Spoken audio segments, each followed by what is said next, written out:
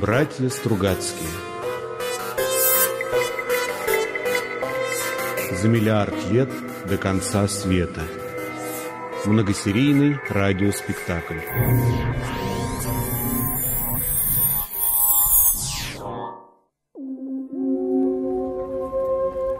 Белый июльский зной, небывалый за последние два столетия, затопил город – все окна в городе были распахнуты настежь.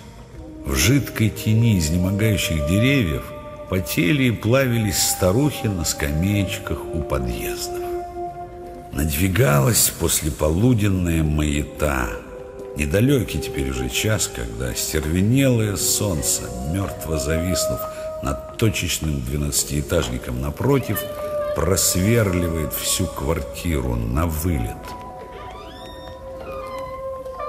Малянов закрыл окно, обе рамы, и наглухо задернул тяжелую желтую штору. Потом прошлепал босыми ногами на кухню и отворил балконную дверь. Было начало третьего. Скрипнув половицей, появился откуда-то одуревший от жары колям. Глянул на Малянова зелеными глазами, беззвучно разинул и снова закрыл рот. Затем, подергивая хвостом, проследовал под плиту к своей тарелке. Ничего на этой тарелке не было, кроме сохлых рыбьих костей. Жрать хочешь? Утром же тебе давали. Или нет, не давали. Это я тебе вчера утром давал. Малянов вытащил Калямову кастрюлю и заглянул в нее. Были там какие-то волокна, немного желе и прилипший к стенке рыбий плавник. А в холодильнике, можно сказать, и того не было. Ничего, Колямчик, ничего. Все равно сейчас везде обеденный перерыв. Ну, можно было, конечно, пойти на московский. Но там всегда очереди, тащиться туда далеко по жаре. Это ж надо, какой паршивый интеграл оказался. Ну, ладно. Пусть это будет константа. Да, от омеги не зависит. Ясно ведь, что не зависит. Из самых общих соображений следует, что не должен зависеть. Малянов представил себе этот шар и как интегрирование идет по всей поверхности. Откуда-то вдруг выплыла формула Жуковского. Ни с того, ни с сего. Малянов ее выгнал. Но она снова появилась. Конформное отображение попробовать. Черт. Да. Витя? Какой вам телефон нужен? Э, э, это интурист? Нет, это квартира. Желтая штора светилась, и комната была наполнена тяжелым желтым светом. Воздух был, как кисель. В Бобкину комнату надо перебираться, вот что. Баня ведь. Одного Смирнова Владимира Ивановича шесть томов. И вон еще сколько бумаги на полу разбросано. Страшно подумать перебираться. Постой. У меня же какое-то просветление было. Черт. С этим твоим интуристом, дура безрукая. Значит, я был на кухне, затем меня принесло сюда. А, конформное отображение. Дурацкая идея. Вообще-то надо посмотреть. Идиот. Да. Это база? Кто говорит? Это база?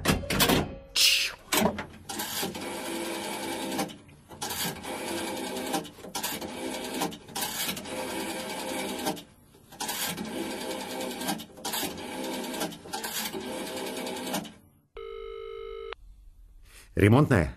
Я говорю с телефона 93-9807. Слушайте, я вам вчера уже звонил один раз. Невозможно же работать, все время попадают сюда. Какой у вас номер? 93-9807. Мне все время звонят. То в интуристов гараж какой-то. Положите трубку, проверим. Пожалуйста.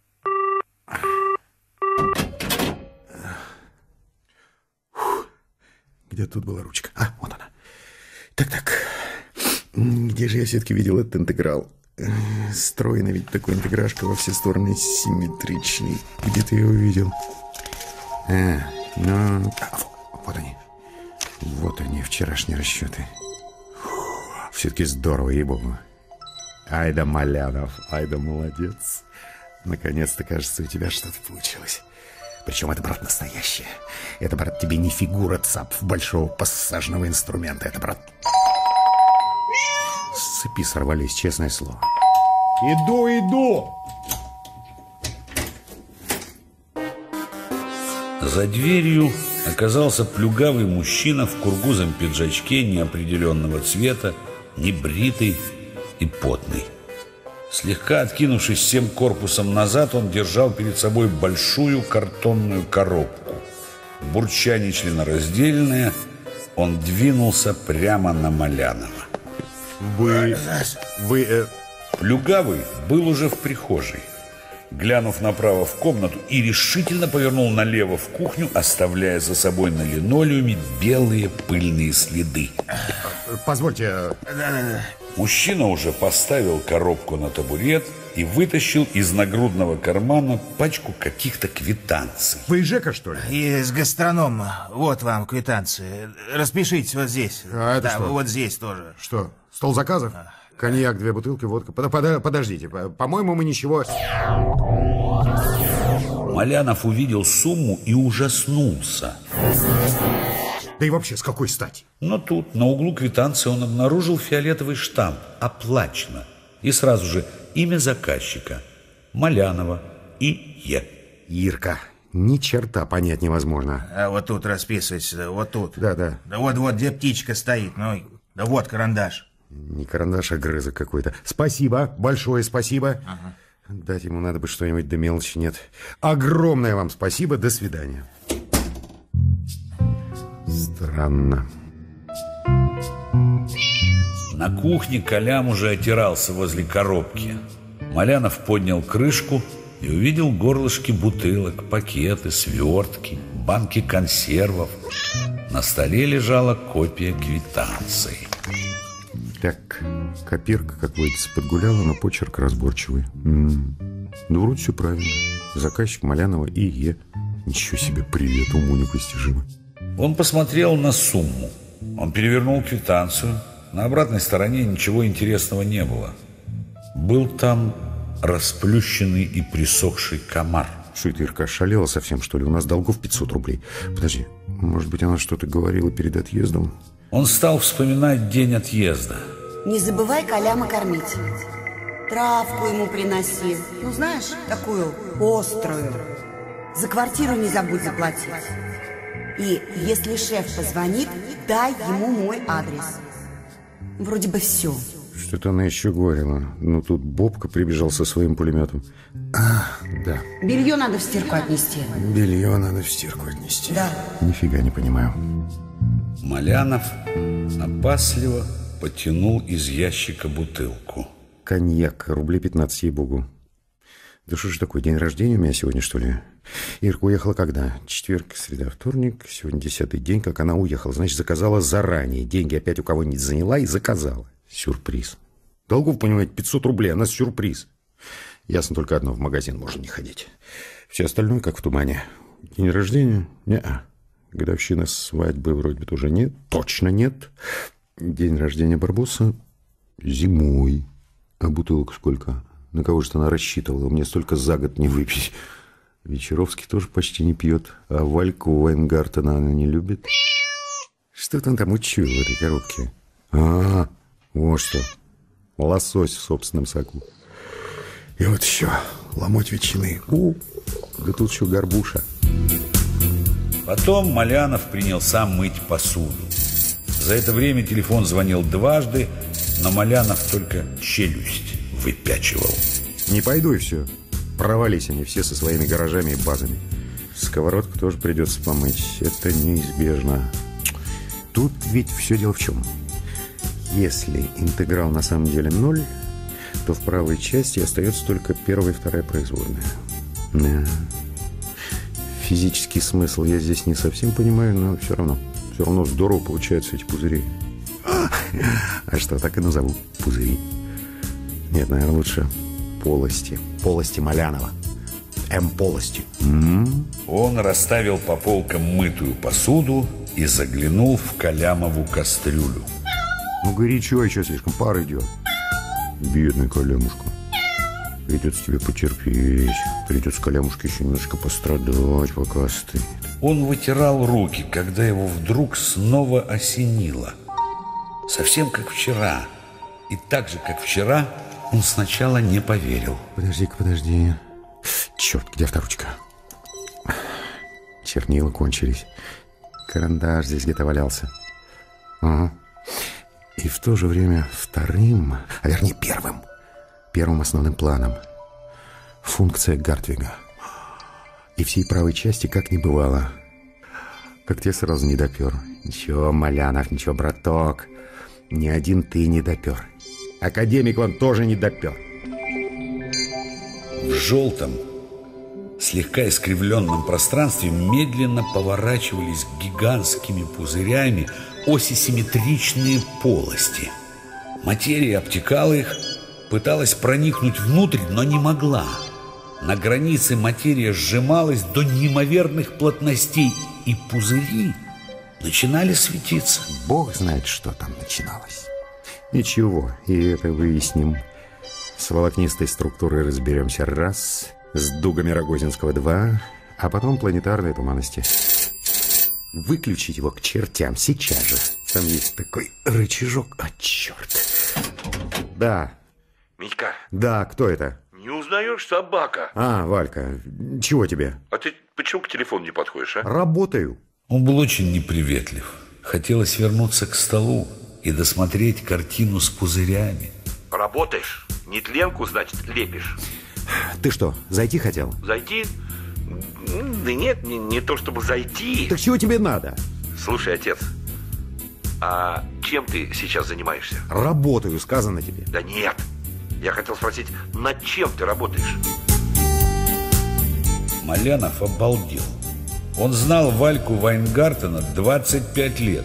И сроду Вайнгартен никакой маляновской работой не интересовался. Сроду Вайнгартена интересовал только сам Вайнгартен лично.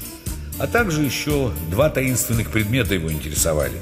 Двугривенный 1934 года и так называемый консульский полтинник, который, собственно, и полтинником-то не был, а был какой-то там особенной почтовой маркой.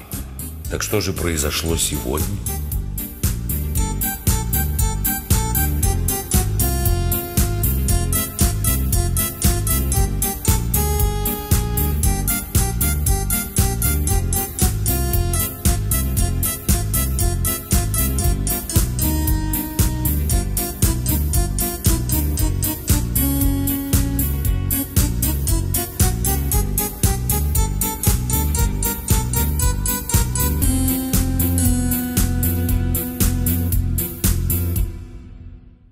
Делать гада нечего. Трепло. Или ему крыша понадобилась, что он так мнется. На чем я работаю, изволь. Могу рассказать во всех подробностях. Тебе, как биологу, это будет страшно интересно. Вчера утром я, наконец, слез с мертвой точки. Оказывается, при самых общих предположениях относительно потенциальной функции, мои уравнения движения имеют еще один интеграл, кроме интеграла энергии и интегралов моментов. Получается что-то вроде обобщения ограниченной задачи трех тел. Если уравнение движения записать в векторной форме и применить преобразование Гартвига, то интегрировать... огромному изумлению Малянова Вайнгартен не перебивал. На секунду Малянову даже показалось, что их разъединили. Ты меня слушаешь?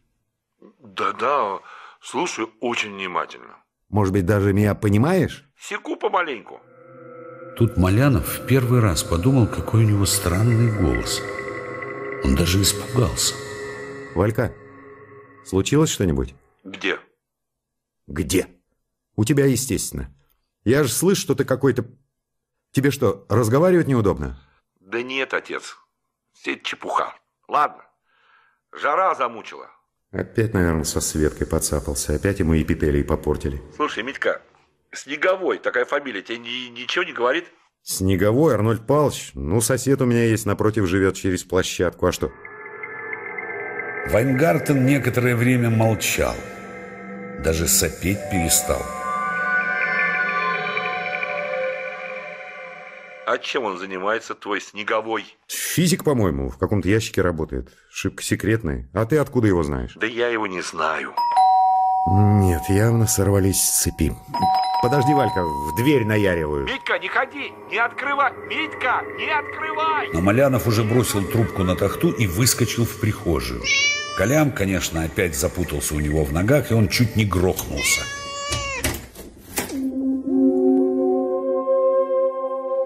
Открыв дверь, он сейчас же отступил на шаг. На пороге стояла молодая женщина в белом мини-сарафане, очень загорелая, с выгоревшими на солнце короткими волосами. Красивая, незнакомая. Малянов сразу ощутил, что он в одних трусах и брюхо у него потное. У ног женщины стоял чемодан, через левую руку был перекинут пыльник. Дмитрий Андреевич? Да. Родственница. Троюродная Зина из Омска. Вы меня простите, Дмитрий Алексеевич. Наверное, я не кстати. Вот. Она протянула конверт. Малянов молча взял этот конверт и вытащил из него листок бумаги. Ирка крупными буквами, явно в торопях, писала в кривь и в кось. Димкин, это Литка Пономарева, моя любимая школьная подруга. Я тебе про нее рассказывала. Прими ее хорошенько, она ненадолго. Не хами. У нас все хорошо. Она расскажет. Целую. Малянов издал протяжный, неслышный миру вопль, закрыл и снова открыл глаза. Однако губы его уже автоматически складывались в приветливую улыбку. Ну, очень приятно. Заходите, Лида, прошу. Извините меня за мой вид. Жара. Все-таки, видно, не все было в порядке с его радушием, потому что на лице красивой Лиды вдруг появилось выражение растерянности, и она почему-то оглянулась на пустую, залитую солнцем лестничную площадку, словно вдруг усомнилась, туда ли она попала. Э, Позвольте, я вам чемоданчик. Заходите. Заходите, не стесняйтесь. Пыльник вешайте сюда. Здесь у нас большая комната, я там работаю. А здесь Бобкина.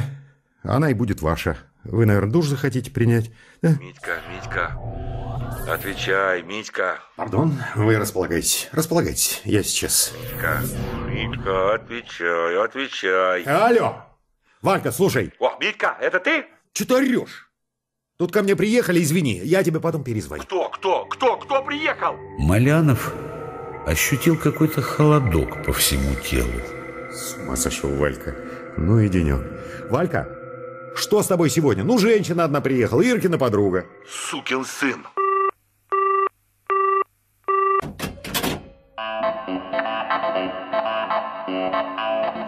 Прошло полчаса. Гостья сменила свой мини-сарафан на мини-юбочку и мини-кофточку. Малянов больше не вспоминал о полостях Малянова. Впрочем, все было очень прилично, как в лучших домах. Сидели, трепались, пили чаек. Он был уже Димочкой, а она у него уже стала Лидочкой. А хотите еще стаканчик, Лидочка? Лидочка не ответила, и он обернулся. Она смотрела на него широко открытыми светлыми глазами, и на блестящем от загар лице ее было совершенно неуместное выражение, не то растерянности, не то испуга. У нее даже рот приоткрылся. Налить? Что? А я говорю, чайку. А налить вам еще? Да нет, спасибо. А то я лопну. Надо фигуру беречь. О, о, да, такую фигуру, несомненно, надо беречь. Э, Может быть, ее даже стоит застраховать. Лидочка мельком улыбнулась и, повернув голову, через плечо посмотрела во двор. Шея у нее была длинная, гладкая, разве что несколько худая. У Малянова создалось еще одно впечатление, а именно, что эта шея создана для поцелуев.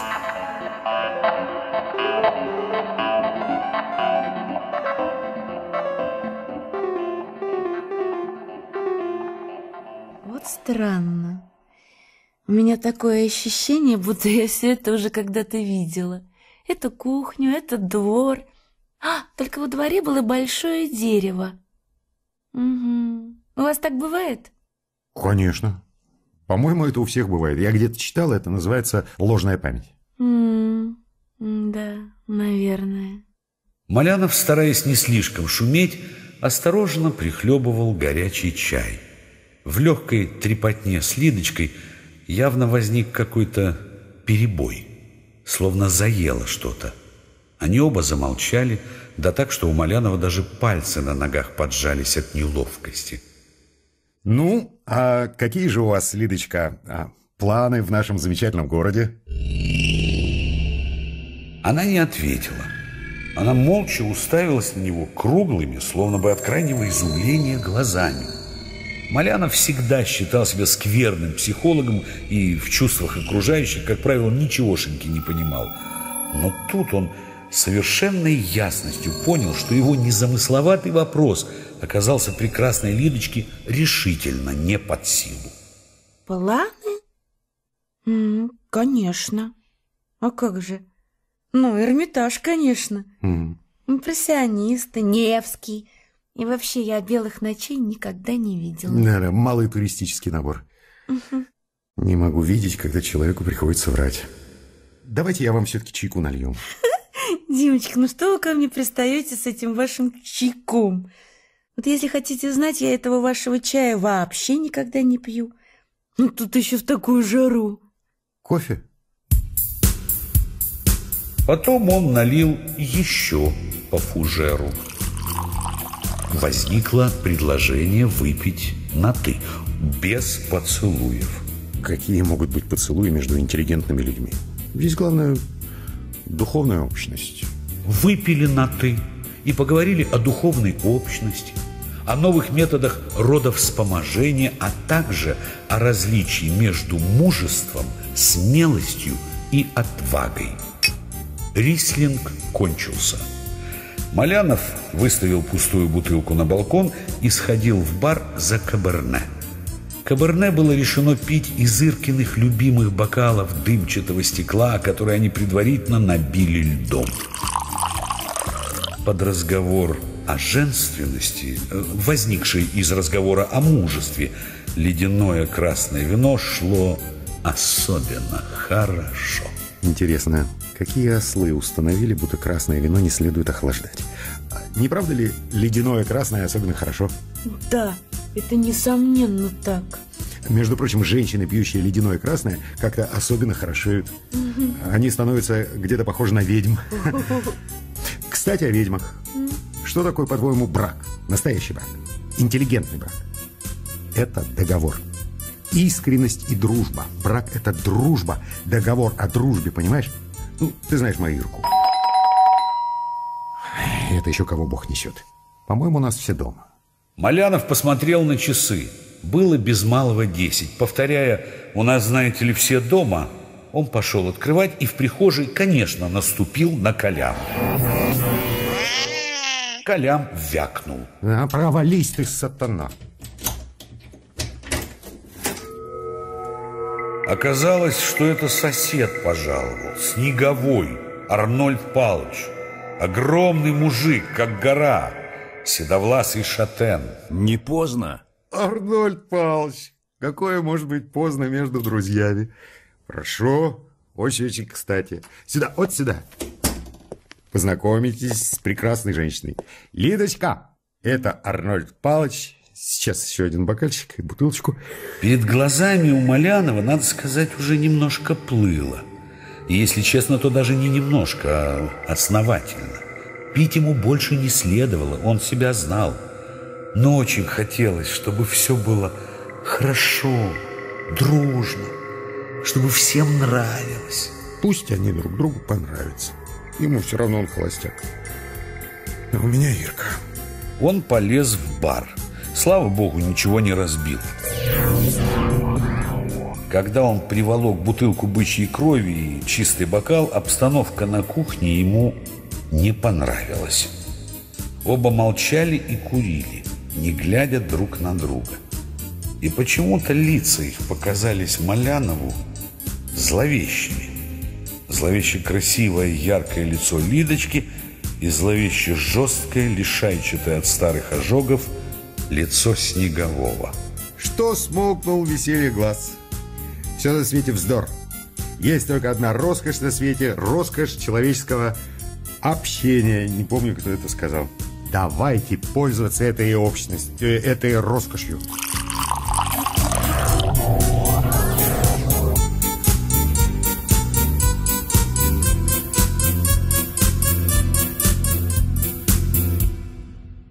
Давайте пользоваться этой общностью, э, этой роскошью. Малянов встал и, держа бокал на уровне ушей, пространно развил эту тему вслух. Не помогло. Выпили. Опять не помогло. Лидочка скучающе смотрела в окно. Снеговой, пришипившись, крутил на столе свой пустой бокал между огромными коричневыми ладонями. Ну, Арнольд Павлович, когда вы теперь исчезнете? Снеговой заметно вздрогнул и взглянул на него. Малянову показалось даже, что он собирается встать. И тут до него дошло, что вопрос его прозвучал, мягко выражаясь, двусмысленно. Арнольд Павлович, господи, да я совсем не то хотел сказать. Лидочка, ты понимаешь, перед тобой сидит совершенно таинственный и загадочный человек. Время от времени он исчезает. Придет, занесет ключи от квартиры и как бы растворяется в воздухе. Месяцева нет, другой нет, друг звонок является. В общем, Арнольд Павлович, вы прекрасно знаете, что я вас очень люблю и всегда рад видеть вас. Ну, конечно, Дмитрий Алексеевич, конечно, дорогой, конечно. А это Лидочка, лучшая школьная подруга моей жены из Одессы. Вы надолго в Ленинград? Она что-то ответила, довольно доброжелательно. И он снова что-то спросил, что-то про белые ночи. Словом, у них началось все-таки роскошное общение. И Малянов смог перевести дух. Не, ребята, мне пить нельзя. Ну и срамотище. Трепло забалдевшее. Не слыша и не понимая ни единого слова, он смотрел на страшный, изъеденный адским огнем лик Снегового и мучился совестью. Когда мучения стали нестерпимыми, он тихонько встал, придерживаясь за стенку, добрался до ванны и заперся там.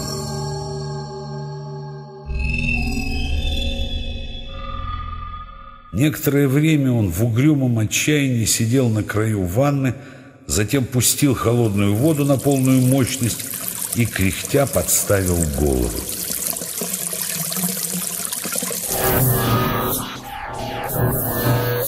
Когда он вернулся, освеженный и с мокрым воротником, Снеговой натужно рассказывал анекдот про двух петухов. Лидочка звонко хохотала, закидывая голову и открывая свою созданную для поцелуев шею. Разговор как-то перекинулся в область предсказания будущего. Лидочка поведала, что цыганка предсказала ей трех мужей и бездетность. Что бы мы делали без цыганок? Мне лично цыганка нагадала крупное открытие относительно взаимодействия звезд с диффузионной материей в галактике. Потом он спохватился и вознамерился было снова расплескать по бокалам, но обнаружил, что бутылка уже пуста. Он рванулся за новой, однако Арнольд Палч остановил его. Нет, нет, ребят, я должен идти. Я уж пойду. Дмитрий Алексеевич, проводите меня. Спокойной ночи, Лидочка. Рад был познакомиться. Они двинулись в прихожую. Да, Дмитрий Алексеевич, я же обещал вам одну книгу. Пойдемте, я вам отдам. Какую это книгу, хотел спросить Малянов, но Снеговой прижал толстый палец к губам и увлек его через площадку к своей квартире. Этот толстый палец так поразил Малянова, что он последовал за Снеговым, как овечка. Молча, все еще держа Малянова за локоть, Снеговой нашарил свободной рукой ключ в кармане и открыл дверь. В комнате, куда Снеговой его ввел, было чисто и прибрано, и горели все лампы. Тройник под потолком, торшер в углу над диваном и даже маленькая лампа на столе. На спинке стула висел китель с серебряными погонами инженер-полковника из целой коллекции орденских планок. Оказывается, наш Арнольд Павлович полковник. Тук-тук-тук. А какую книгу? Любую. Возьмите вот эту и держите в руках, чтобы не забыть. И давайте присядем на минутку. Значит так. Значит так, прежде всего, что это за женщина? Лидочка? Ну, Я же вам сказал, подруга жены. А что? Вы ее хорошо знаете? Нет. Только сегодня познакомился. Она приехала с письмом. А вы что думаете? она- Спрашивать буду я. Времени у нас нет. Над чем вы сейчас работаете, Дмитрий Алексеевич? Малянов сразу вспомнил Вальку Вайнгартена, и его снова охватило нехорошим холодком. Что-то сегодня все интересуются, над чем я работаю. А кто еще? Она? Нет, Вайнгартен мой друг. Вайнгартен. Вайнгартен. Да нет, я его хорошо знаю. Еще в школе вместе учились, до сих пор дружим. Такая фамилия Губарь вам ничего не говорит? Губарь? Нет. Да что случилось, Арнольд Павлович? Снеговой раздавил в пепельнице окурок и закурил новую сигарету. Кто еще спрашивал о вашей работе? Больше никто. Так над чем вы работаете? Слушайте, Арнольд Павлович, я, я не понимаю. Я тоже. И очень хочу понять. Рассказывайте. Подождите. У вас закрытая работа? К черт закрытая. Обыкновенная астрофизика и звездная динамика. Взаимодействие звезд с диффузионной материей. Ничего закрытого здесь нет. Просто я ну, не люблю рассказывать о своей работе, пока не закончу. Звезды и диффузионная материя. Ну да. И не закрытая? Ни в какой части? И в какой букве? И губаря вы точно не знаете? И губаря не знаю. Снеговой молча дымил рядом с ним. Огромный, сгорбившийся, страшный. Ну, на нет и суда нет. У меня к вам все, Дмитрий Алексеевич. Извините, ради бога. Да, но у меня не все. Я все-таки хотел бы понять. Не имею права. Конечно, так просто Малянов бы от него не отстал. Но тут он заметил такое, что сразу прикусил язык. У Снегового левый карман его гигантской пижамы оттопыривался, и там весьма отчетливо и недвусмысленно отсвечивала рукоятка пистолета. Большого какого-то пистолета, вроде гангстерского кольта в кино. И этот кольт сразу отбил у Малянова желание расспрашивать. Теперь вот что, Дмитрий Алексеевич. Я завтра опять...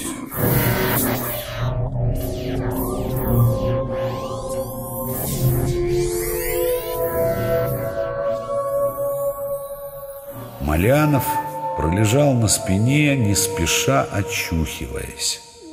Под окном уже вовсю грохотали прицепы, а в квартире было тихо. От вчерашнего бестолкового дня остался только легкий шум в голове, металлический привкус во рту и какая-то неприятная заноза в душе или в сердце, или бог знает где еще. А, это Палыч с ключами.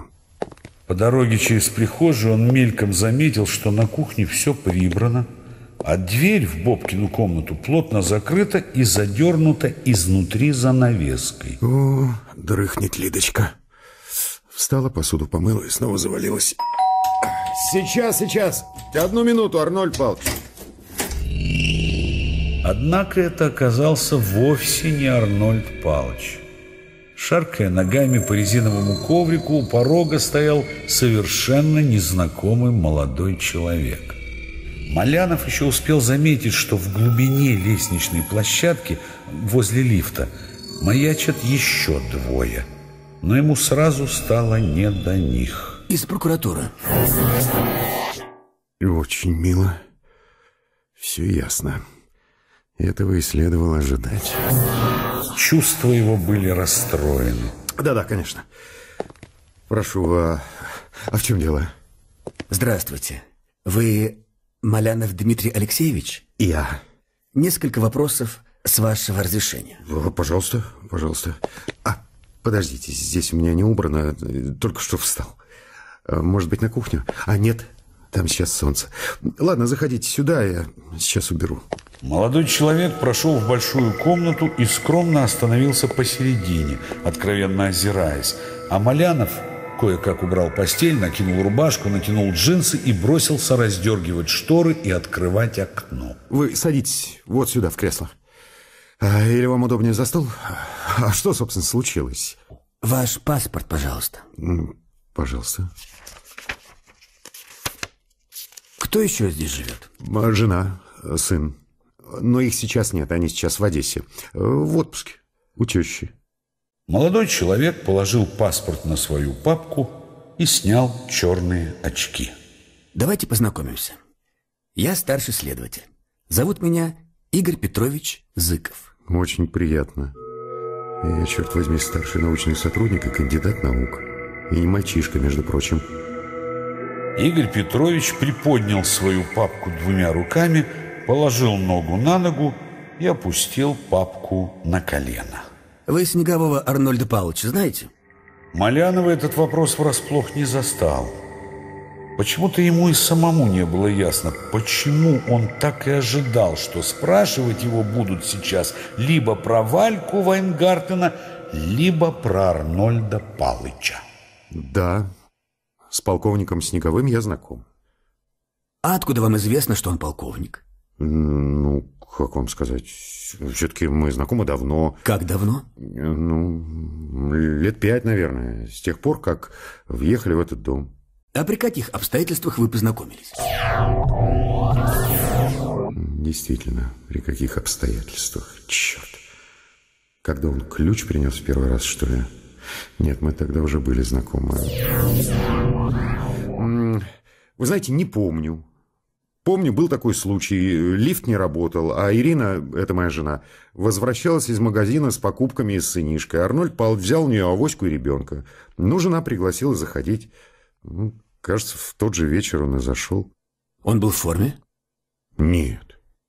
Так, и с тех пор вы, значит, подружились? Ну, что значит подружились? Ну, заходит к нам иногда, берет книги, приносит книги, чаек иногда пьем вместе, а когда он уезжает в командировке, отдает нам ключи. Зачем? Как зачем? Мало ли. В самом деле зачем? Как это мне никогда в голову не приходило. Так, на всякий случай, наверное. На всякий случай, наверное. Например, приедет кто-нибудь из родных или еще что-нибудь. Кто-нибудь приезжал? Да нет. Насколько я помню, нет. Ну, при мне, во всяком случае, никто не приезжал. Может быть, жена что-нибудь по этому поводу знает. Ну, а приходилось вам с ним говорить о науке, о работе? Опять о работе. О чьей работе? О его, конечно. Ведь он, кажется, был физиком. Понятия не имею. Скорее уж ракетчиком каким-нибудь. Он еще не успел договорить, как его обдало холодом. То есть как это был? Почему был? Ключ не занес. Господи, да что же случилось, наконец? Он уже готов был заорать во весь голос, то есть в каком это смысле был. Но тут Игорь Петрович совершенно сбил его с панталыку. Стремительным движением фехтовальщика он выбросил в сторону руку и выхватил у него из-под носа какой-то черновик. А это откуда у вас? Откуда у вас это? Мирное лицо Игоря Петровича вдруг хищно осунулось. Сизые его глазки бегали по лицу Малянова. Э, ну, позвольте. Сидите, сидите. Как к вам попали эти данные? Какие данные? Какие к черту данные? Это мои расчеты. Это не ваши расчеты. Вот этот график, откуда он у вас? Он издали показал листок и постучал ногтем по кривой плотности. из головы. Вот из этой. Это зависимость плотности от расстояния до звезды. Это кривая роста преступности в нашем районе за последний квартал. И даже стрессовать толком не сумели. Не так она на самом деле идет, а вот так. И с этими словами он взял карандаш Малянова, вскочил и, положив листок на стол, принялся сильно надавливая чертить поверх кривой плотности какую-то ломаную линию, приговаривая при этом. Вот так, а здесь вот так, а не так. Закончив и сломав грифель, он отшвырнул карандаш, снова уселся и посмотрел на Малянова с сожалением. Эх, Малянов, Малянов, квалификация у вас высокая, опытный преступник, а действуете как последняя сявка. Малянов обалдел и переводил взгляд с чертежа на его лицо и обратно. Это не лезло ни в какие ворота. То есть до такой степени не лезло, что не имело смысла ни говорить, ни кричать, ни молчать. Собственно, строго говоря, в этой ситуации следовало бы попросту проснуться. Ну, а жена ваша в хороших отношениях со Снеговым? В хороших. Она с ним на «ты»? Послушайте, вы мне чертеж испортили. Что это такое в самом деле? Какой чертеж? Да вот этот график. А, ну это несущественно. Снеговой заходит в гости, когда вас нет дома? Несущественно. Это, знаете ли, вам несущественно. Поспешно собирая со стола бумаги, Малянов кое-как распихивал их по ящикам. Сидишь тут, сидишь как проклятый, вкалываешь, потом приходят всякие и говорят, что это несущественно. Опустившись на корточки, Малянов собирал черновики, разбросанные по полу. Игорь Петрович без всякого выражения следил за ним, аккуратно ввинчивая сигарету в мундштучок.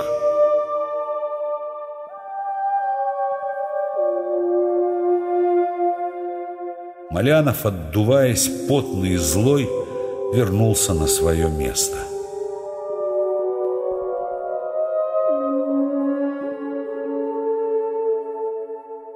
Вы разрешите закурить? Курите, вон пепельница. И знаете, спрашивайте поскорее, что вам нужно. Мне работать пора. Это зависит только от вас. Вот, например, такой вопрос. Как вы обычно называете Снегового? Полковник, по фамилии или по имени-отчеству? Когда как придется. Какая вам разница, как я его называю? Полковником тоже называете? Ну, называю. Ну и что? Это очень странно. Дело в том, что Снеговой получил звание полковника только позавчера.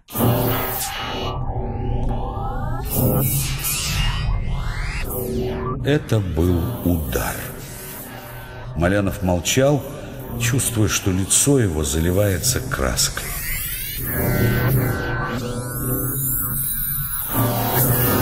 Так откуда вы узнали, что Снеговой произведен в полковнике? Ладно, что там? Ну, прихвастнул. Ну, не знал я, что он полковник. Или там подполковник. Просто я вчера к нему зашел, увидел китель с погонами. А когда вы вчера у него были? Ну, вечером, поздно. Книгу вот у него взял, вот эту. Это он зря сболтнул про книгу. Игорь Петрович сейчас же книгу придвинул к себе и принялся ее листать. А Малянов покрылся холодным потом, потому что понятия не имел, что это за книга и о чем.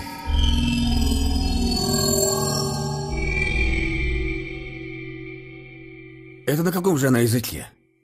Ну, на английском надо полагать. Да нет, как будто это все-таки кириллица у вас, не латынь.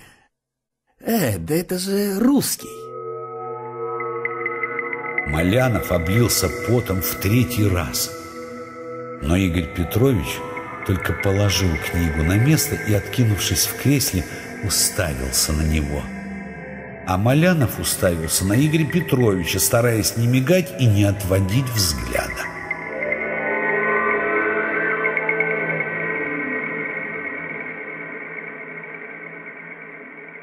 На кого я похож, по-вашему? На продавца. Неправильно, попробуйте еще разок. Не знаю. Игорь Петрович снял очки и укоризненно покачал головой. Плохо. Ну, плохо. Никуда не годится. Это надо ж на продавца. Ну, а на кого же? Игорь Петрович назидательно потряс перед собой очками. На человека-невидимку.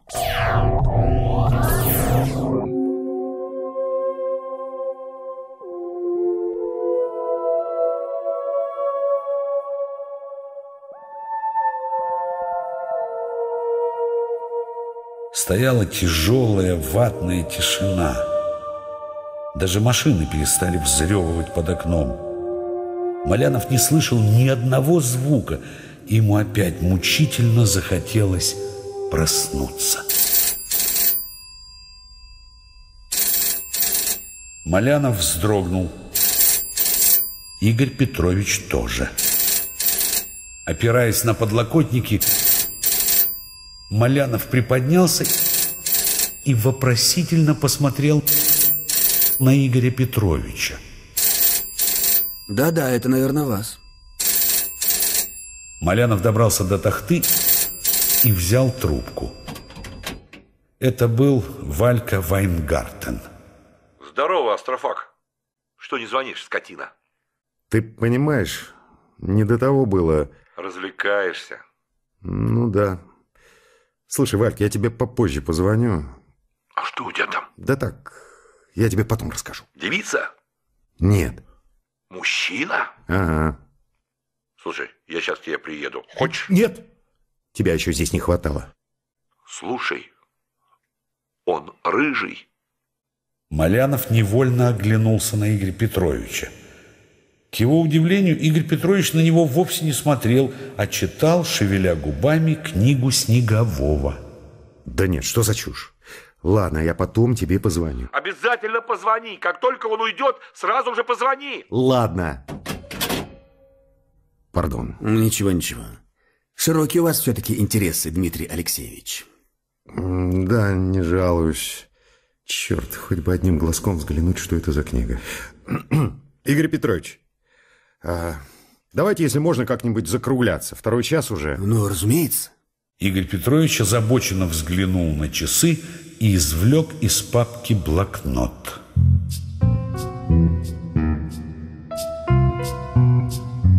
Значит так, вчера вечером вы заходили к Снеговому, так? Да.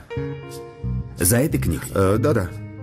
Когда это было? Э, поздно, э, около 12. А вам не показалось, что Снеговой собирается куда-то уезжать? Да, показалось. Э, то есть не показалось. Он просто сам сказал, что завтра утром уезжает и занесет мне ключи.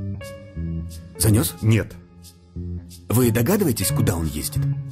Ну, в общем, догадываюсь. Он вам что-нибудь рассказывал об этом? Нет, конечно. Мы о его работе никогда не говорили.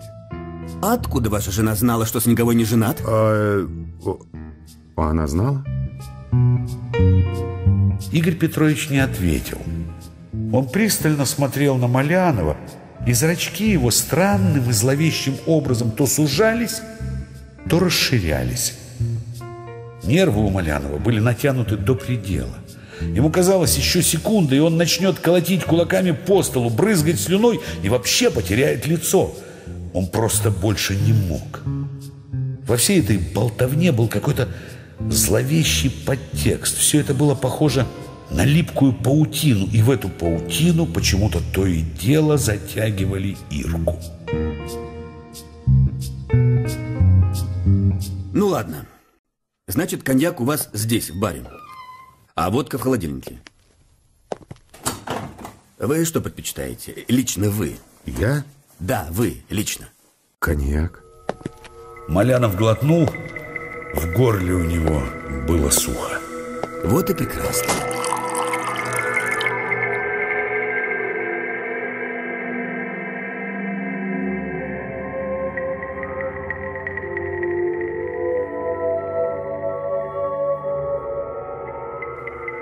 Малянов тупо смотрел, как он с необыкновенной ловкостью расставляет на столе рюмки, тонкими ломтиками нарезает лимон, откупоривает бутылку и аккуратно, не проливая ни капли, разливает коньяк по рюмкам.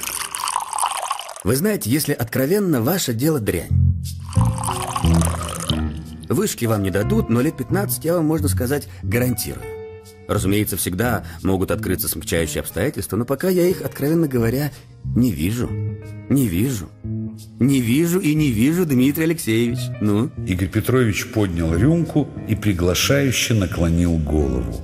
А деревенелыми пальцами Малянов взялся за свою рюмку. Хорошо, но могу я все-таки узнать, что происходит? Разумеется. Разумеется, можете. Теперь я вам все расскажу. Имею полное право. Итак, сегодня в 8 утра за Снеговым пришла машина, чтобы отвезти его на аэродром.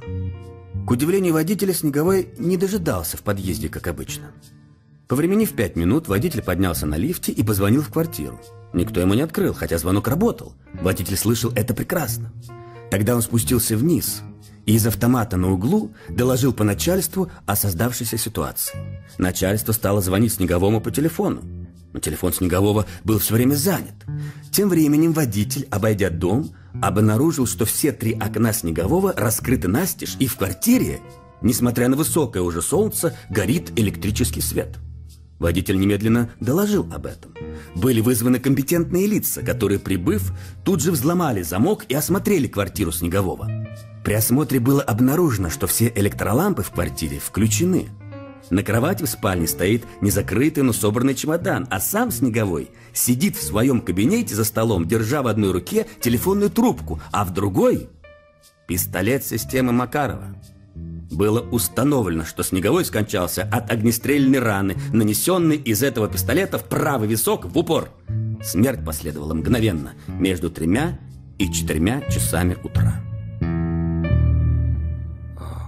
А я-то здесь при чем? В ответ Игорь Петрович подробно рассказал, как строилась баллистическая кривая и как была обнаружена пуля, прошедшая на вылет и застрявшая в стене. Я-то здесь при чем? Истово ударяя себя в грудь, Малянов задавал один и тот же вопрос. К этому моменту они уже выпили по третий. Но вам его жалко? Жалко его вам? Жалко, конечно, он был отличный мужик, но я-то...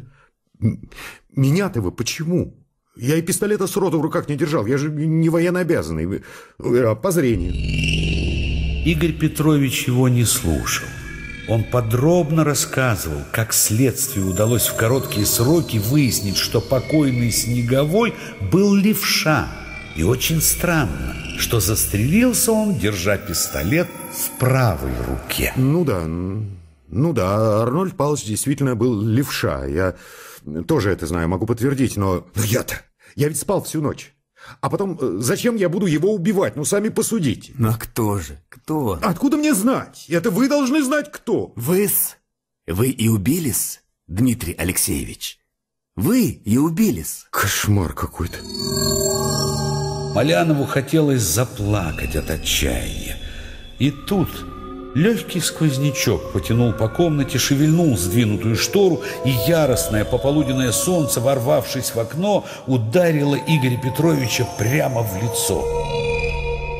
Он зажмурился, заслонился растопыренной пятерней, подвинулся в кресле и торопливо поставил рюмку на стол. Что-то с ним случилось. Глаза часто замигали, на щеки набежала краска, подбородок дрогнул. Озираясь с выражением какого-то мучительного недоумения на лице, он взглянул на рюмки. Простите, Дмитрий Алексеевич. Да что же это такое? А, а, где я? Послушайте, что вы здесь... Тут в Бобкиной комнате что-то грохнуло и разлетелось с длинным дребезгом. Что такое? В голосе Игоря Петровича снова не было души человеческой. Это там один человек. Малянов так и не успел понять, что же произошло с Игорем Петровичем. Совсем другая мысль вдруг осенила его. А, слушайте, пойдемте. Вот, пожалуйста, там подруга жены. Она подтвердит. Всю ночь спал, никуда не выходил. Интересно, интересно. Подруга жены. Посмотрим. Она подтвердит. Сейчас увидите. Подтвердит. Они без стука ворвались в Бобкину комнату и остановились. Комната была прибрана и пуста. Лидочки не было, постели на тахте не было, чемодана не было, а под окном, рядом с осколками глиняного кувшина, Хорезм, XI век, сидел Колям с необыкновенно невинным видом. Это? Нет, это наш кот, он у нас давно. Позвольте, а где же Лидочка? Малянов оглянулся на вешалку. Белого пыльника тоже не было. Она, значит, ушла, наверное? Игорь Петрович пожал плечами. Наверное. Здесь ее нет. Тяжело ступая, Малянов подошел к разбитому кувшину. Скотина. Малянов дал Коляму по уху. Колям шарахнулся вон. Малянов присел на корточки. В дребезги. Какой хороший кувшин был. Давно она у вас живет? Вчера приехала. А вещи ее здесь? Не вижу. И пыльника ее нет. Странно, верно? Малянов молча махнул рукой. Ну и черт с нею. Пойдемте еще по рюмочке.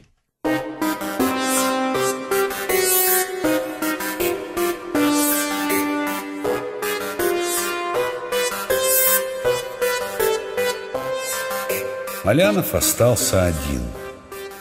Долго стоял он на пороге Бобкиной комнаты, привалившись плечом к косяку и ни о чем, в общем, не думая. Появился откуда-то Колян, прошел, нервно подрагивая хвостом мимо него, вышел на площадку и принялся лизать цементный пол. Ну ладно. Малянов оторвался от косяка и прошел в большую комнату. Было там накурено. Сиротливо стояли три синие рюмки на столе. Две пустые и одна наполовину полная.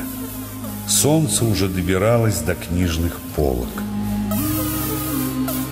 Он немного посидел в кресле, допил свою рюмку. Потом он встал, протащился через прихожую, ударившись плечом о косяк, выволокся нога за ногу на лестничную площадку и остановился перед дверью квартиры Снегового. Дверь была опечатана, и на замке стояла большая сургучная печать. Он осторожно коснулся ее кончиками пальцев и отдернул руку. Все было правдой. Все, что случилось, случилось.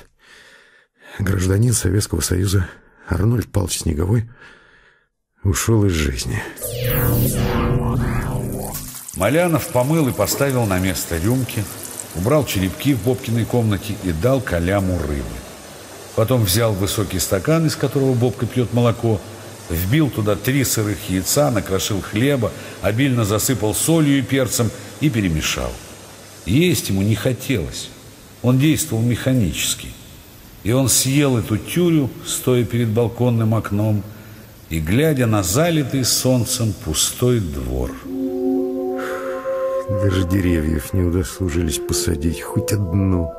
Мысли его текли вялой струйкой, да и не мысли это были, собственно. Так обрывки какие-то. Нет, Снеговой умер, это ясно. Снегового я больше не увижу. Хороший был человек, только какой-то нелепый. Какой-то он всегда был неустроенный, особенно вчера. А ведь кому-то он звонил. Звонил он кому-то, что-то хотел сказать еще, объяснить, предупредить о чем-то.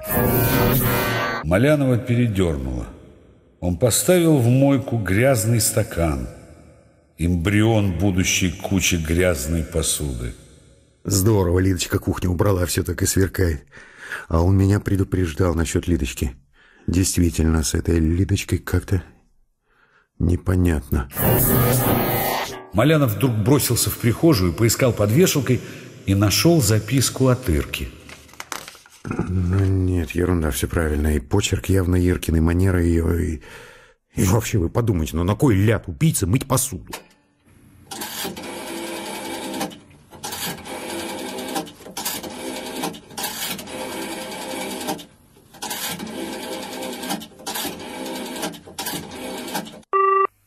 Телефон у Вальки занят. Вальки ведь тоже там что-то не в порядке, истерика какая-то. Что-то он у меня спрашивал, странное что-то. Эх, Валька, мне бы твои заботы. Не, пускай приезжает. Он в истерике, я в истерике. Глядишь, вдвоем что-нибудь и придумаем.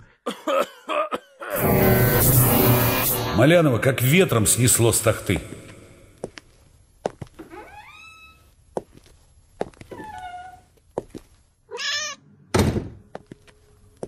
И зря, конечно. Никого там в прихожей не было. И в ванной тоже, и в кладовке. Он проверил замок, вернулся на тахту и тут обнаружил, что колени у него дрожат. Черт, нервы сдали.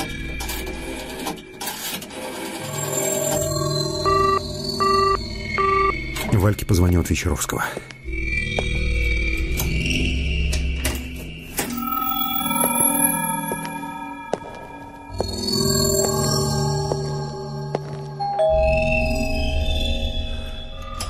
О, слава богу, Фил дома. Работаешь? Как всегда. Ага. И, как всегда, у него такой вид, словно он собирается на прием, и через пять минут за ним должна заехать машина. Невероятной красоты кремовый костюм, невообразимые мокасины и галстук. Ну, я ненадолго. Конечно. Кофе? Подожди. А, впрочем, давай. Малянов сел на свой стул, а Вечеровский принялся колдовать с кофейным оборудованием. Я тебе сделаю по-венски. Валяй. Сливки есть? Вечеровский не ответил. Малянов смотрел, как под тонкой кремовой тканью энергично работают его торчащие лопатки. У тебя следователь был? Лопатки на мгновение застыли. Затем над сутулым плечом медленно возникло, поворачиваясь, длинное веснущатое лицо с вислым носом и рыжими бровями, высоко задранными над верхним краем могучей роговой оправы очков. Прости, как ты сказал? А я сказал, следователь у тебя был сегодня или нет? Почему именно следователь? Потому что Снеговой застрелился. Ко мне уже приходили. Кто такой Снеговой? Ну, этот дядька, который напротив меня живет. Ракетчик. А, Вечеровский отвернулся и снова задвигал лопатками. А ты разве его не знал? По-моему, я вас знакомил. нет, насколько я помню, нет. По кухне прекрасно запахло кофе. Малянов уселся поудобнее. Черт, рассказать или не стоит? В этой сверкающей ароматной кухне, где было так прохладно, несмотря на ослепительное солнце, где всегда все стояло на своих местах и все было самого высшего качества, на мировом уровне или несколько выше, здесь все события прошедших суток казались особенно нелепыми, дикими, неправдоподобными, нечистоплотными какими-то. Вчера я немного подумал о твоей задаче. Ты не пробовал применить функции Гардвига? Да знаю, знаю, сам допер. Получилось? Слушай, Фил, какие тут к чертовой матери функции Гартвига? У меня голова винтом, а ты... И Малянов начал рассказывать о том, что сегодня в 8 часов утра за Снеговым пришла машина, чтобы отвезти его на аэродром. К удивлению водителя, Снеговой не дожидался в подъезде, как обычно. Повременив пять минут, водитель поднялся на лифте и позвонил в квартиру. Никто ему не открыл, хотя звонок работал, водитель слышал это прекрасно. Тогда он спустился вниз и из автомата на углу доложил по начальству о создавшейся ситуации. Тем временем водитель, обойдя дом, обнаружил, что все три окна Снегового раскрыты настежь. И в квартире, несмотря на высокое уже солнце, горит электрический свет. Водитель немедленно доложил об этом. Были вызваны компетентные лица. При осмотре было обнаружено, что все электролампы в квартире включены, на кровати в спальне стоит незакрытый, но собранный чемодан, а сам Снеговой сидит в своем кабинете за столом, держа в одной руке телефонную трубку, а в другой пистолет системы Макарова. Смерть последовала мгновенно, между тремя и четырьмя часами утра. Вечеровский помолчал минуту, поглаживая двумя пальцами гладко выбритую скулу. Глянуть смерти в лицо сами мы не могли. Нам глаза завязали и к ней привели. Бедняга. Непонятно было, кого он имеет в виду. Нет, я все могу понять. Ну, вот этот следователь. Ты хочешь еще кофе? Нет. Тогда пойдем ко мне. Они перешли в кабинет. Вечеровский сел за стол, совершенно пустой, с одиноким листком бумаги посередине, вынул из ящика механический бювар, щелкнул какой-то кнопкой, пошарил глазами по строчкам и набрал на телефоне номер. Старшего следователя Зыкина. Ну, я и говорю, Зыкова Игорь Петрович. Благодарю вас. Старший следователь Зыков на операции. Да он мне свое удостоверение показывал. Или ты думал, что это были жулики? Вряд ли. Вот и я тоже подумал. Из-за бутылки коньяка разводить такую историю, да еще рядом с опечатанной квартирой. А ты говоришь, функции Гартвига. Какая тут может быть работа? Вечеровский пристально смотрел на него рыжими глазами. Дим, а тебя не удивило, что Снеговой заинтересовался твоей работой? Ну еще бы, сроду мы с ним о работе никогда не говорили. А что ты ему рассказал? Ничего не сказал. По-моему, он был разочарован. Где имение, а где вода, так он выразился. Прости? Где имение, а где вода? А что, собственно, это значит? Ну, это из классики откуда-то. В том смысле, что в огороде Бузина и в Киеве дядька. Ага. Вечеровский задумчиво поморгал коровьими ресницами, потом взял с подоконника идеально чистую пепельницу, вынул из стола трубку с кисетом и принялся ее набивать. Ага. Где имение, а где вода. Это хорошо, надо будет запомнить. Малянов нетерпеливо ждал. Он очень верил в него. У Вечеровского был совершенно нечеловеческий мозг. Малянов не знал другого человека, который из совокупности данных фактов был бы способен делать столь неожиданные выводы. Ну? Вечеровский уже набил свою трубку и теперь так же неторопливо и со вкусом ее раскуривал. Трубка тихонечко сипела. Дима, а насколько ты, собственно, продвинулся с четверга?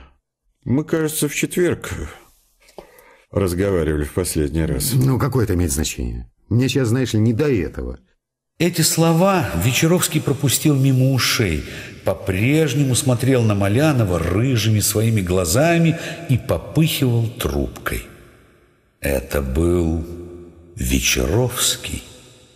Он задал вопрос и теперь ждал ответа. И Малянов сдался. Он верил, что Вечеровскому виднее, что имеет значение, а что нет. Неплохо я продвинулся. Малянов начал рассказывать, как ему удалось переформулировать задачу и свести ее сначала к уравнениям в векторной форме, а потом к интегродифференциальному уравнению. Как у него стала вырисовываться физическая картина, как допер он до М плоскостей и как вчера сообразил, наконец, использовать преобразование Гартвига. Вечеровский слушал очень внимательно, не перебивая и не задавая вопросов. И только один раз, когда Малянов, увлекшись, схватил одинокий листок и попытался писать на обратной стороне, остановил его и попросил «Словами, словами». Но ничего этого я сделать уже не успел. Потому что сначала начались дурацкие телефонные звонки, я кое-как работал, а потом заявилась эта Литочка. И все пошло на пропасть. Вечеровский совершенно окутался клубами и струями ароматного медвянного дыма. Неплохо, неплохо. Но остановился ты, как я вижу, на самом интересном месте. Не я остановился, а меня остановили. Да. Черт. Сейчас бы работать и работать, а я, а я думать не могу. От каждого шороха в собственной квартире вздрагиваю. И вдобавок это милая перспективочка. 15 лет. Он уже в который раз вворачивал про эти 15 лет. Все ждал, что Вечеровский скажет «Не выдумывай, какие там 15 лет, это же явное недоразумение».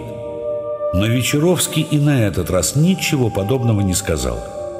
Вместо этого он принялся длинно и нудно расспрашивать Малянова о телефонных звонках. Когда они начались точно? Куда звонили? Ну, хоть несколько конкретных примеров – кто звонил? Мужчина, женщина, ребенок? Когда Малянов рассказал ему про звонки Вайнгартена, он, по-видимому, удивился и некоторое время молчал. А потом опять принялся за свое. Что Малянов отвечал в телефон? Всегда ли подходил? Что ему сказали в бюро ремонта? Что это за история со столом заказов? Подробнее. Как выглядел этот дядька? Что он говорил? Что принес? Что теперь осталось от того, что он принес? Этим унылым допросом он загнал Малянова в кромешную тоску, потому что Малянов не понимал, зачем это все надо и какое отношение все это имеет к его несчастьям. Потом Вечеровский наконец замолчал и стал ковыряться в трубке, а Малянов хрустнул пальцами и с тоской пробормотал. Что будет? Что будет? Кто знает, что ждет нас, кто знает, что будет. И сильный будет, и подлый будет, и смерть придет, и на смерть осудит. Не надо в грядущий взор погружать. Услышав это глуховатое уханье, Малянов понял, что Вечеровский только что прочитал ему стихи. Наверное, также ухали уэлсовские марсиане, упиваясь человеческой кровью. И Вечеровский так ухал, когда ему нравились стихи – который он читал. Можно было подумать, что удовольствие, которое он испытывал от хороших стихов, было чисто физиологическим. Да иди ты к черту. И тогда Вечеровский произнес вторую тираду. На этот раз в прозе. Когда мне плохо, я работаю. Когда у меня неприятности, когда у меня хандра, когда мне скучно жить я сажусь работать. Наверное, существуют другие рецепты, но я их не знаю. Или они мне не помогают. Хочешь моего совета? Пожалуйста. Садись работать. Слава богу, таким людям, как мы с тобой, для работы ничего не нужно, кроме бумаги и карандаша. Положим, все это Малянов знал и без Вечеровского. Из книг. У Малянова все это было не так. Он мог работать только когда на душе у него было легко и ничего над ним не висело. Помощи от тебя. Дай-ка я лучше Вайнгартену позвоню. Странно мне все-таки, что он спрашивал про Снегового. Конечно. Только если тебе не трудно, перенеси телефон в другую комнату. Я пойду, Фил. Если хочешь, оставайся у меня. Бумага есть, карандаш я тебе дам. Ладно, там видно будет. Завтра у меня экзамен, а сегодня я весь день дома. Звони или заходи. Хорошо.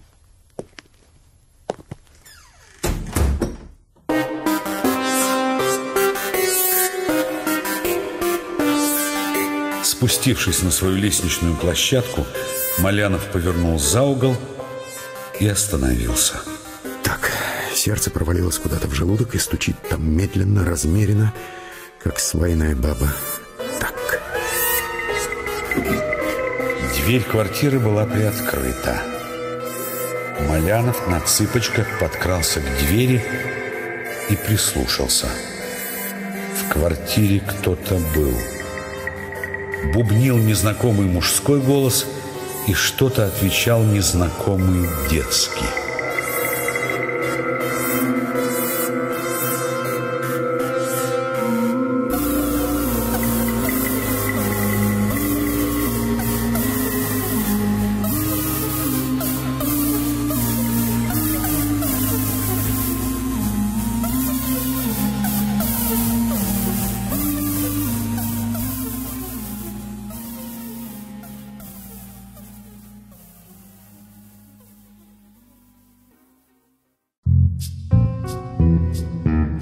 Малянов прошел на кухню. Незнакомый мужчина сидел на корточках и подбирал осколки разбитой рюмки. Мальчик лет пяти сидел на табуретке за столом, подсунув под себя ладони, болтал ногами и смотрел, как подбираются осколки. Здесь же, на кухне, был и Вайнгартен. Видно было, что он уже основательно принял внутрь. На столе имела место наполовину опорожненная бутылка экспортной столичной и всякие явства из стола заказов. Увидев входящего Малянова, Вайнгартен пришел в возбуждение. Слушай, отец, Ты где пропадал? Ты только не переживай, и Крому не тронули. Тебя ждали. Мужчина, подбиравший осколки, поднялся.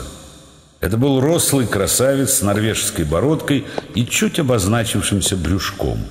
Он смущенно улыбался. Так, так, так. Мой дом, моя крепость. Так это называется. Взятая штурмом, отец. Взятая штурмом. Слушай, откуда у тебя такая водка? И жратва. Мы тут без вас нахозяйничали, а это я виноват. Ну, чепуха, чепуха. Дядя трус. Малянов вздрогнул. Ему даже показалось, что все тоже вздрогнули. Ну, ну, тише. Дитя, ведь тебе же дали шоколад. Сиди и харчись. Не встревай. Почему же это я трус? Зачем это ты меня обижаешь? А я тебя не обижаю. Я тебя назвал. Между тем красавец освободился от осколков, вытер ладонь носовым платком и протянул Малянову руку. Захар? Они обменялись церемонным рукопожатием. За дело! За дело! Тащи еще две рюмки! Малянов сходил в бар, взял коньяк и рюмки, показал язык креслу, в котором давеча сидел Игорь Петрович, и вернулся к столу. Стол ломился от яств. Наемся и напьюсь. Молодцы ребята, что приехали. Но все получилось не так, как думал Малянов. Они выпили, и Малянов принялся с урчанием поедать гигантский бутерброд с икрой, и тут... Теперь, отец, рассказывай, что с тобой произошло? Откуда ты взял? Вот что, нас здесь трое, и с каждым из нас кое-что произошло. Так что не стесняйся. Что тебе сказал этот рыжий? Вечеровский? Да не, ну, да при чем тут Вечеровский? К тебе явился маленький огненно-рыжий человечек в этом удушливо черном костюме. Ну что он тебе сказал? Малянов откусил от бутерброда сколько в рот влезло и принялся жевать, не чувствуя вкуса. Все трое смотрели на него. Ребят, какие там рыжие? Никакие рыжие ко мне не приходили, у меня все было гораздо хуже. Ну, давай, давай, рассказывай. Почему это я должен рассказывать? Я из этого никакого секрета не делаю. Ну что ты тут передо мной разыгрываешь? Сам рассказывай. Откуда, интересно, ты узнал, что со мной вообще что-то случилось? Вот расскажи, а потом и я тебе расскажу. И Захар расскажет. Вот вы и давайте, оба и рассказывайте. Вас двое, я один. Ты рассказывай. Тише, тише. Это ваш?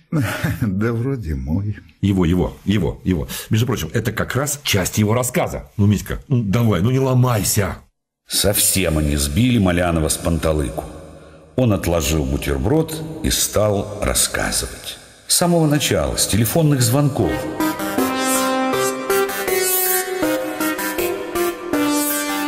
Когда одну и ту же страшную историю рассказываешь второй раз на протяжении каких-нибудь двух часов, поневоле начинаешь обнаруживать в ней забавные стороны. Малянов и сам заметил, как разошелся. Файнгартен то и дело всхохатывал, обнажая могучие желтоватые клыки, а Малянов прямо-таки целью жизни своей положил заставить засмеяться красавца Захара. Но это ему так и не удалось. Захар только растерянно и почти жалобно улыбался. А когда Малянов дошел до самоубийства Снегового, как-то стало и вообще не до смеха. Врешь. За что купил?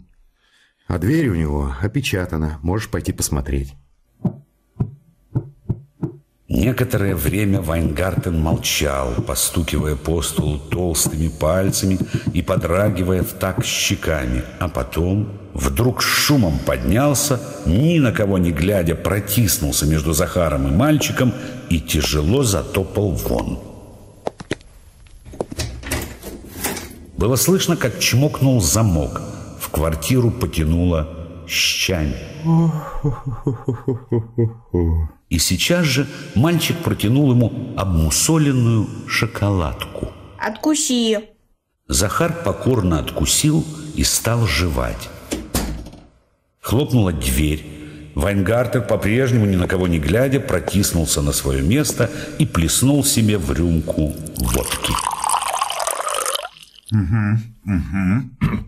Дальше. Что дальше? Дальше я пошел к Вечеровскому. М? Этих мэри ушли, я пошел. Вот только что вернулся. А рыжий? Знаешь что, Валька, Я тебе все рассказал, как было. Иди к черту, честное слово. Третий допрос за день. Валя, а может быть, тут действительно что-нибудь другое? Да брось ты, отец! Как-то другое. И потом, мне же его рыжий назвал. Кто это меня назвал? Писать хочу. Все уставились на мальчика. А он оглядел всех по очереди и сполз с табурета. Пойдем. Захар виновато улыбнулся. Ну, пойдем. Они скрылись в уборной.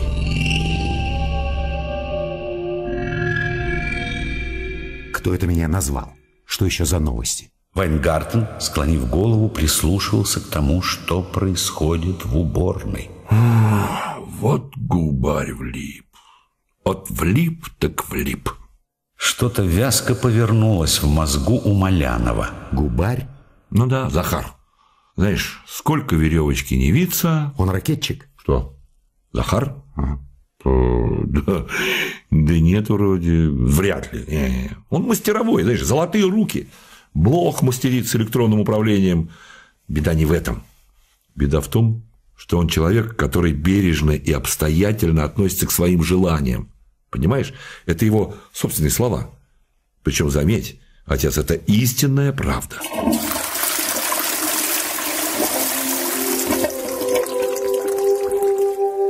Мальчик снова появился в кухне и вскарабкался на табурет. Захар вошел следом. А, Захар, вы знаете, я забыл, а сейчас вот вспомнил. Ведь о вас Снеговой спрашивал. И тут Малянов впервые в жизни увидел, как человек белеет прямо на глазах. То есть делается белым, буквально, как бумага. Обо мне? Да вот, вчера вечером. Ты что, его знал? Захар молча помотал головой, полез за сигаретой, высыпал полпачки на пол и принялся торопливо собирать просыпанное. Это дело надо отцы того. Подумаешь, это еще ничего не значит. Малянов опять вздрогнул, а Захар распрямился и стал смотреть на сына с какой-то надеждой, что ли. Это просто случайность. Вы телефонную книгу посмотрите. Там этих губарей штук восемь. Малянов знал Вайнгартена с шестого класса. В седьмом они подружились и просидели до конца школы за одной партой. Вайнгартен не менялся с годами. Он только увеличивался в размерах. Всегда он был веселый, толстый, плотоядный. Всегда что-то коллекционировал. То марки, то монеты, то почтовые штемпели, то этикетки с бутылок. Вечно приставал к окружающим, требуя мелочь. Искал какие-то особенные медики. И вечно хватал чужие письма. Клянчил конверты с печатями. При всем при том дело свое он знал. У себя в Израиле он давно уже был старшим, числился членом 20 разнообразных комиссий, как союзных, так и международных. Постоянно шастал за рубеж на всякие конгрессы и вообще был без пяти минут доктор. Из всех своих знакомых больше всего он уважал Вечеровского, потому что Вечеровский был лауреат, а Валька до дрожи мечтал стать лауреатом. Сто раз он рассказывал Малянову, как нацепит медаль и пойдет в таком виде на свиданку. Для него каждая свиданка была приключением, независимо от того, чем она кончалась. Светка, женщина исключительно красивая, но склонная к меланхолии, давно махнула на него рукой. Тем более он души в ней не чаял и постоянно дрался из-за нее в общественных местах. Он вообще любил подраться. Ходить с ним в ресторан было сущим наказанием. Жил он ровно, весело, удачливо и без каких-нибудь особых потрясений. Странные события с ним начались, оказывается, еще две недели назад, когда серия опытов, заложенная в прошлом году, стала вдруг давать результаты совершенно неожиданного и даже сенсационного свойства – вы этого, отцы, понять не можете. Это связано с обратной транскриптазой. Она же РНК-зависимая ДНК-полимераза. Она же просто ревертаза. Это такой фермент в составе анкор-вируса. И это, я вам прямо скажу, отцы, пахнет Нобелевкой. В лаборатории Вайнгартена, кроме него самого, никто этих результатов оценить не сумел. Большинству, как это всегда бывает, было до лампочки, а отдельные творческие единицы решили просто, что серия провалилась. Время, между тем, летнее, и все рвутся в отпуска.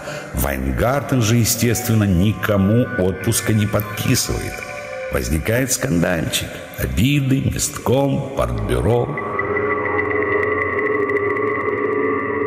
В разгар этого скандальчика на одном из совещаний мне полуофициально сообщает, что есть такое мнение назначить товарища Вайнгартена Валентина Андреевича директором новейшего супермодернового биологического центра, строительство которого сейчас заканчивается в Добролюбове.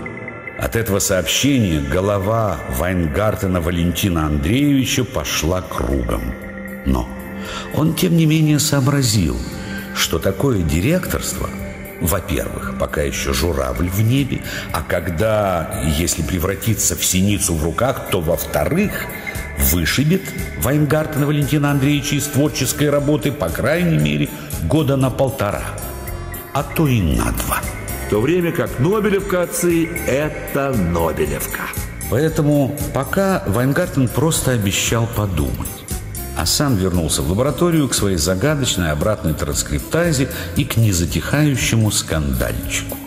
Не прошло и двух дней, как его вызвал к себе шеф-академик и расспросил о текущей работе. Я держал язык за зубами, отцы, я был предельно сдержан. Шеф-академик предложил Вайнгартену оставить сомнительную чепуху, а заняться такой-то и такой-то темой, имеющей большое народно-хозяйственное значение, а потому сулящей неисчислимые материальные и духовные блага, за что он, шеф-академик, ручается головой.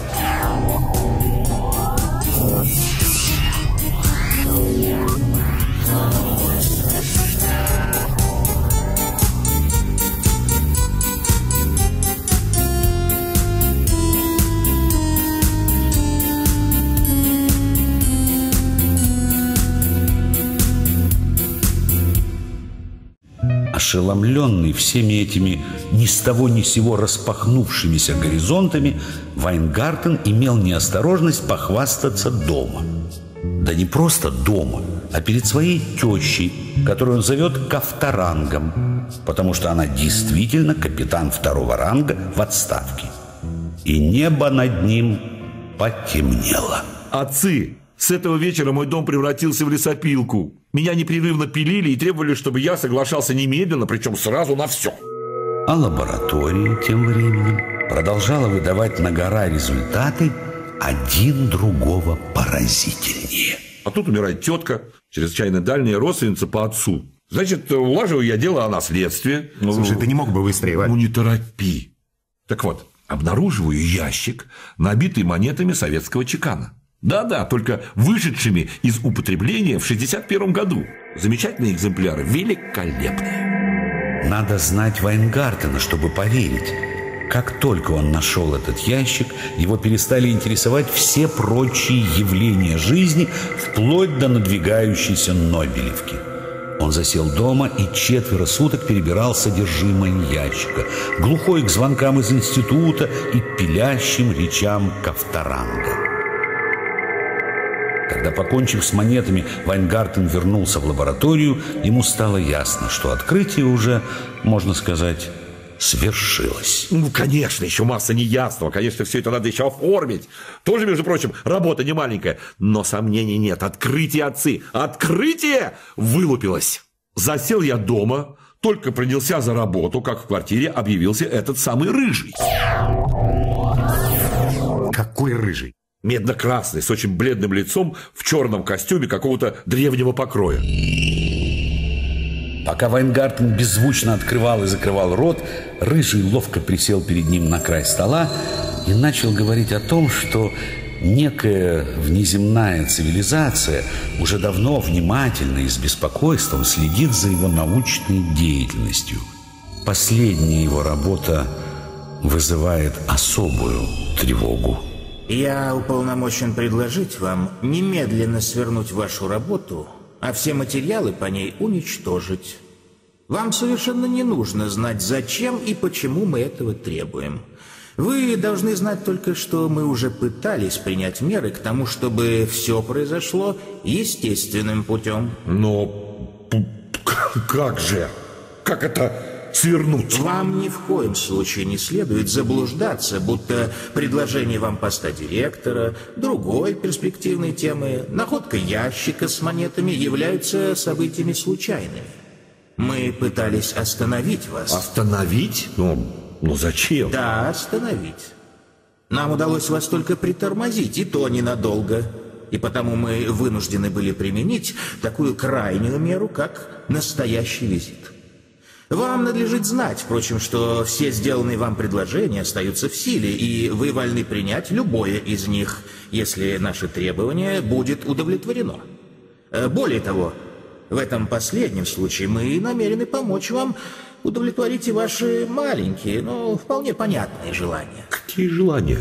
Проистекающие из слабостей, свойственных человеческой природе. Э, в качестве залога позвольте вручить вам э, вот этот небольшой презент. С этими словами Рыжий выхватил прямо из воздуха и бросил на стол перед Вайнгартеном толстый пакет – как выяснилось впоследствии, набитый великолепными марками, совокупную ценность которых человек, не являющийся филателистом-профессионалом, представить себе просто не может. Вы, Валентин Андреевич, не единственный землянин, оказавшийся в сфере внимания нашей сверхцивилизации. Среди ваших знакомых есть люди, деятельность которых подвергается в данный момент пресечению – это Малянов Дмитрий Алексеевич, астроном, Губарь Захар Захарович, инженер, и Снеговой Арнольд Павлович, химико-физик. Вайнгартену Валентину Андреевичу давалось на обдумывание трое суток. По истечении трех суток мы будем считать себя вправе применить меры третьей степени. Пока он мне все это излагал, я, отцы мои, думал только об одном. Как этот гад проник в квартиру без ключей? Неужели, думаю, это Светкин хахаль, которому стало не в моготу под диваном? Ну, думаю, сейчас я тебя отметелю. Но пока я все это думал, этот рыжий гад кончил свои речи и... Вылетел в окно. И никуда он не вылетел. Он просто исчез. Вайнгартен схватил последний кусок осетрины и затолкал его в пасть. Но, ну, это я, отцы, сейчас отошел немножко, а тогда сижу в кресле, глаза закрыл, вспоминаю его слова, а у самого все внутри вот дрожит мелкой дрожью, как поросячий хвост. Думал, прямо тут же вот и помру. Никогда со мной такого не бывало. Эти марки твои просто фальшивки. Или новоделы. Дурак ты. Малянов не нашелся, что сказать. Ему вдруг пришло в голову, если бы все это было враньем, или даже просто правдой, а не страшной правдой, Вайнгартен сделал бы наоборот.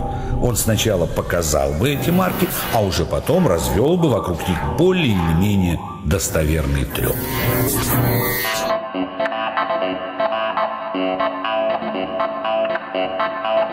Захар Губарь с детства был большой лентяй и прогульщик и с тех пор был сексуально озабочен.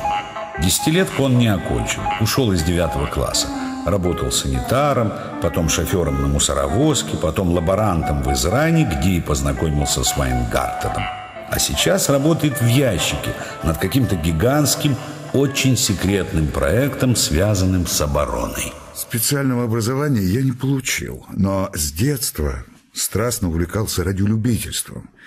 Электронику, не поверите, чувствовал душой, спинным мозгом чувствовал. Наверное, поэтому я в ящике своем очень круто пошел вверх. Захар, между прочим, запатентовал несколько изобретений, и сейчас у него два или даже три в работе. Правда, он решительно не знает, из-за какого из них у него неприятности. Предполагает, что из-за прошлогоднего. С чем связано? С полезным использованием федингов. Ведь так, Захар? Угу. Ну, не уверен. Нет, не уверен. Может, и не с этим. Впрочем, главным стержнем его жизни всегда были женщины. Они липли к нему, как мухи. А когда они к нему почему-то переставали липнуть, он начинал к ним липнуть сам. Я уже был однажды женат. Самые неприятные воспоминания. С тех пор соблюдаю чрезвычайную осторожность. Но при всем том он никак не был грязным типом. К женщинам своим он относился с уважением, даже с восхищением, и, по всей видимости, рассматривал себя всего лишь как скромный источник удовольствия для них. Никогда не заводил двух возлюбленных одновременно. Никогда не впутывался ни в склоки, ни в скандалы, никогда никого не обижал. Все было тихо и спокойно до самого последнего времени. А что произошло в последнее время? Неприятности, связанные с пришельцами, начались. С появлением какой-то гнусной сыпи на ногах. Ну, зачем ты? Ну, а что зачем? Это правда. Или нет? Ну, правда. С этой сыпью я сразу же побежал к врачу потому что всегда тщательно следил за своим здоровьем. Врач меня успокоил, дал какие-то пилюли. Сыпь прошла, но началось нашествие женщин. Они пошли косяками. Ну, иначе не скажешь. Все женщины, с которыми я когда-либо имел дело. Они толклись у меня в квартире по двое, по трое. А в течение одного страшного дня их было даже пятеро одновременно. Причем я решительно не мог понять, чего они от меня хотят. Более того, у него создалось впечатление, что они и сами этого не знают. Они ругали и поносили его. Они валялись у него в ногах, выпрашивая что-то непонятное. Они дрались между собой, как бешеные кошки. Они перебили у него всю посуду, раскололи голубую японскую мойку, попортили мебель. Они закатывали истерики, они пытались травиться – Некоторые угрожали отравить его.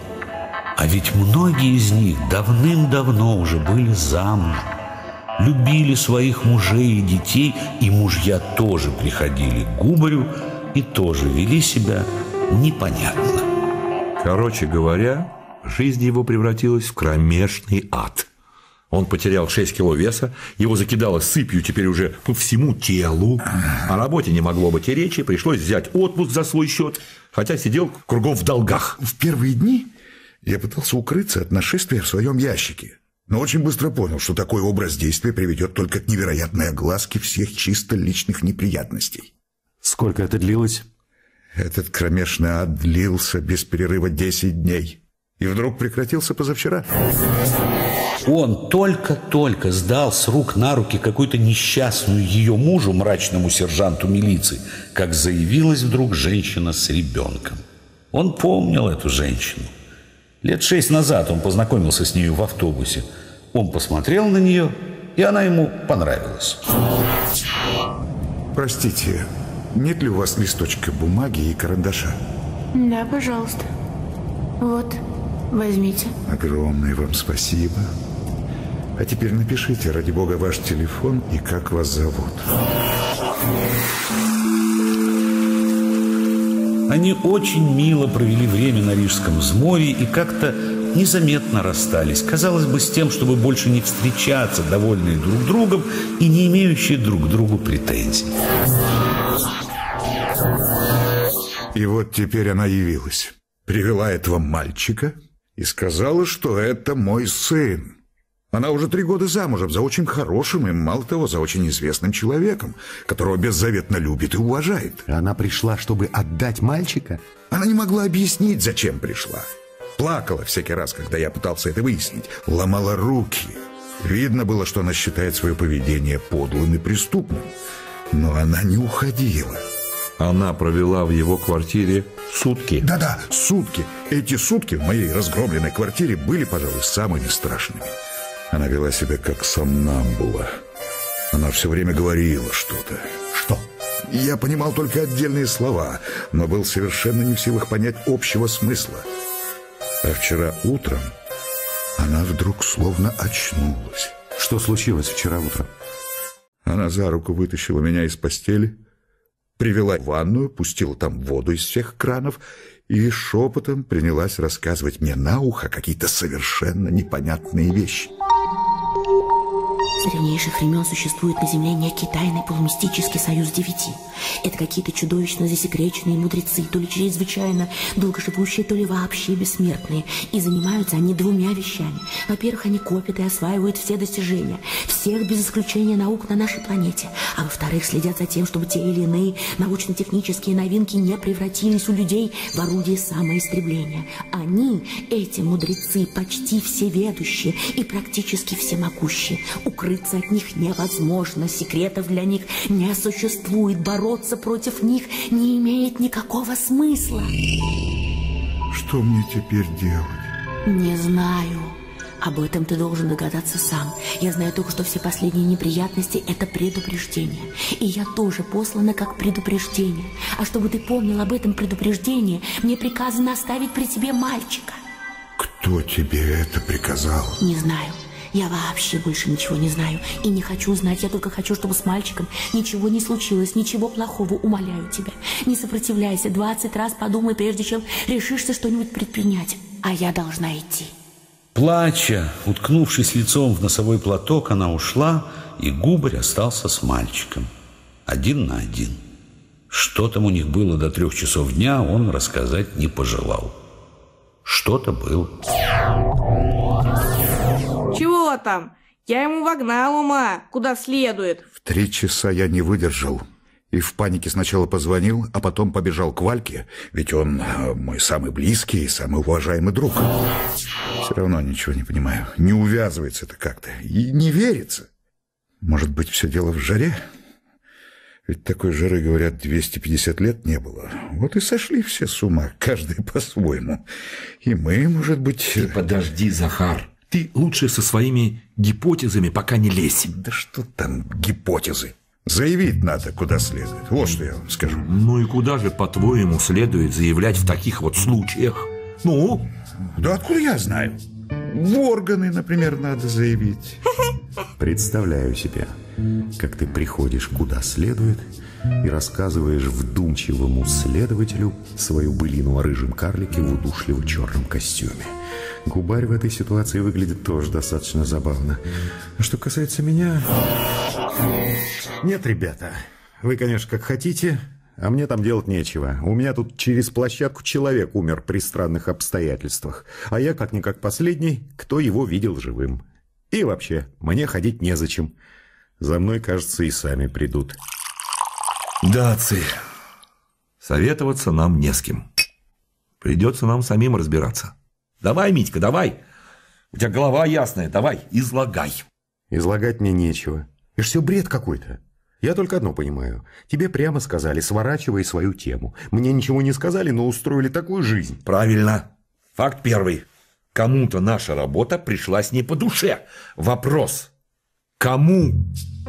Имей наблюдение. Ко мне приходит пришелец, к Захару, агент Союза девяти. Кстати, ты слыхал про Союз девяти? У меня лично в памяти что-то крутится, где-то я об этом читал, но где? Совершенно не помню, а? Так, где вообще никто не приходит. То есть приходят, конечно, но в скрытом виде. Какой отсюда следует вывод? Ну? Отсюда следует вывод, что на самом деле нет никаких пришельцев и никаких древних мудрецов, а есть нечто третье, какая-то сила, которой мы с нашей работой стали поперек дороги. Ерунда все это. Бред и бред. Не годится ни к черту. Ты сам подумай. У меня звезды в газопылевом облаке, у тебя это самая ревертаза, а у Захара вовсе техническая электроника. И Снеговой про это говорил. Знаешь, что он сказал? Где, сказал, имение, а где вода? Я только теперь понял, что он имел в виду. Это значит, он, бедняга, тоже над этим голову ломал. Или, может быть, по-твоему, здесь три разные силы действуют? Да нет, отец, ты подожди. Ты не торопись. Все замолчали. А я вот все о Снеговом. Но это ведь надо же. Ведь ему, наверное, тоже приказали какую-нибудь работу прекратить. А как он мог прекратить? Он же был человек военный. Нет, отец, ты не торопись. Ты себе представь на минутку, что есть на Земле группа существ, достаточно могущественных, чтобы вытворять эти штуки, которые они вытворяют. Пусть это будет хотя бы тот же самый Союз Девяти. Для них важно что? Закрывать определенные темы с определенной перспективой. Откуда ты знаешь? Может, сейчас в Питере еще сто человек себе голову ломают, как и мы. А по всей земле сто тысяч. И как мы боятся признаться. Кто боится, кто стыдится, а кому наоборот, это и по душе пришлось. Лакомые ведь кусочки подбрасывают-то. Мне лакомых кусочков не подбрасывали. И тоже не случайно. Ты ведь болван, бессеребренник. Ты даже сунуть на лапу кому следует не умеешь. Ну ладно, хватит. Поехал проповедь. Нет, ты это брось, отец. Все это вполне разумные предположения. Мощь у них, правда, получается необычайная, фантастическая. Но ведь есть же на свете, черт возьми, гипноз, внушение. Может быть, даже, черт возьми, телепатическое внушение. Нет, отец, ты представь себе, существует на Земле раса древняя, разумная, может быть, и вовсе даже не человеческая, соперники наши. И что? А то, что ждали они, терпели, собирали информацию, готовились и сейчас решили нанести удар. Заметь, не открытой атакой, а гораздо умнее. Они понимают, что трупы горами наваливать – вздор, варварство, да и опасно это для них самих. Вот они решили осторожно, скальпелем, по центральной нервной, по основе всех основ, по перспективным исследованиям. Понял? Малянов слышал и не слышал его. Вязкая дурнота подкатывала к горлу. Захотелось заткнуть уши, уйти, лечь, вытянуться, завалить голову подушкой. Это был страх. И не просто страх, а черный страх. Беги отсюда. Спасайся. Брось все, скройся, заройся, затони. «Ну ты!» — прикрикнул он на себя. «Помнись, идиот, ну нельзя так, пропадешь!» И он сказал с усилием. Понял. Чушь собачья. Почему чушь? Да потому что это сказочка. Для детей старшего возраста. Напиши роман и отнеси в журнал «Костер». Чтоб в конце пионер Вася все эти происки разоблачил и всех бы победил. Так, события с нами имели место? Ну, имели. События фантастические? Ну, ну, предположим, фантастические. Так как же ты, отец, фантастические события хочешь объяснить без фантастических гипотез? А я про это ничего не знаю. Это у вас события фантастические, а вы, может, вторую неделю за поем пьете. У меня никаких фантастических событий не было, я не пьющий. Черт возьми! Должен нам верить, если мы, черт возьми, друг другу не будем верить, тогда вообще все к черту пойдет! У этих гадов может быть весь расчет на то, что мы друг другу не будем верить! Что мы с ними окажемся каждый сам по себе, и они будут из нас веревки видеть, как захотят! Он так бешено орал и брызгался, что Малянов даже перепугался – он даже про черный страх как-то забыл. Ну ладно, ладно. Ну брось ты, что ты разоряешься? Ну, сболтнул я, извини. Губарь смотрел на них со страхом. Наоравшись, Вайнгартен вскочил, вытащил из холодильника бутылку минеральной воды, зубами сорвал колпачок и присосался прямо из горлышка. Пузырящаяся вода текла по его щетинистым толстым щекам и мгновенно проступала потом на лбу и на голых волосатых плечах. Я ведь, собственно, что имею в виду? Не люблю я, когда невероятные вещи пытаются объяснить невероятными причинами. Ну, принцип экономии мышления, знаешь? Так вот до чего угодно договориться можно. Предложи что-нибудь другое. Не могу. Мог бы, предложил бы. У меня башка со страху совсем не работает. Мне только кажется, что если они действительно такие всемогущие, так могли бы обойтись гораздо более простыми средствами. А какими, например? Ну, я не знаю. Ну, тебя отравить тухлыми консервами. Захара заразить чем-нибудь. Да и вообще, зачем все эти смертоубийства, ужасы, если уж они такие всемогущие телепаты, ну, внушили бы нам, что, что мы все забыли дальше арифметики или, скажем, Выработали у нас условный рефлекс. Как мы сядем за работу, так у нас понос. Или грипп.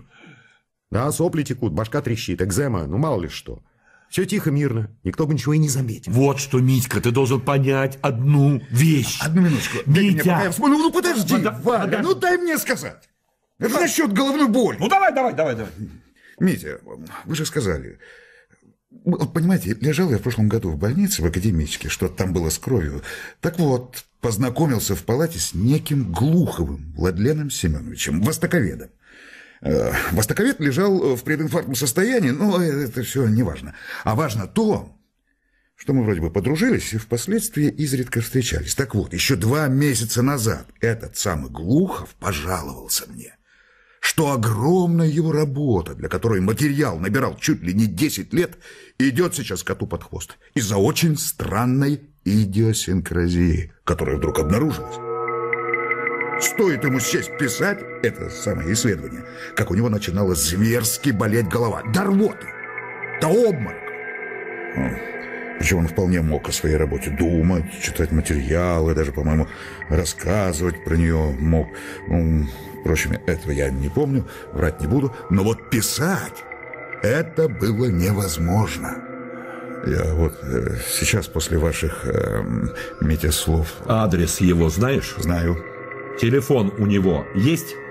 Есть, э, знаю. Ну давай, вызывай его сюда, это наш человек. Иди ты к черту! Ты с ума сошел? Неудобно же. Может, у него просто такая болезнь? У всех у нас это болезнь. Малька, он же востоковед, он вообще из другой оперы. Из той же, отец, из той же, уверяю тебя, из той же самой оперы. Да нет, не надо. Захар, сидите, не слушайте его. Страшно и невозможно было представить себе, как приходит в эту жаркую прокуренную кухню абсолютно нормальный, посторонний человек и окунается в атмосферу сумасшествия и страха.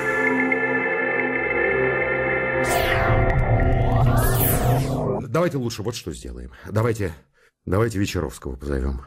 Ей-богу, будет больше пользы. Вайнгартен не возражал и против Вечеровского. Правильно. Насчет Вечеровского это идея. Вечеровский – башка. Захар, иди, звони своему Глухову, mm-hmm. а потом мы Вечеровскому позвоним. Малянов очень не хотел никаких Глуховых. Он умолял, он орал, что хозяин в этом доме он, что он их всех к черту выгонит. Но против Вайнгартена не попрешь. Захар отправился звонить Глухову, и мальчик сейчас же слез с табурета и, как приклеенный, последовал за ним.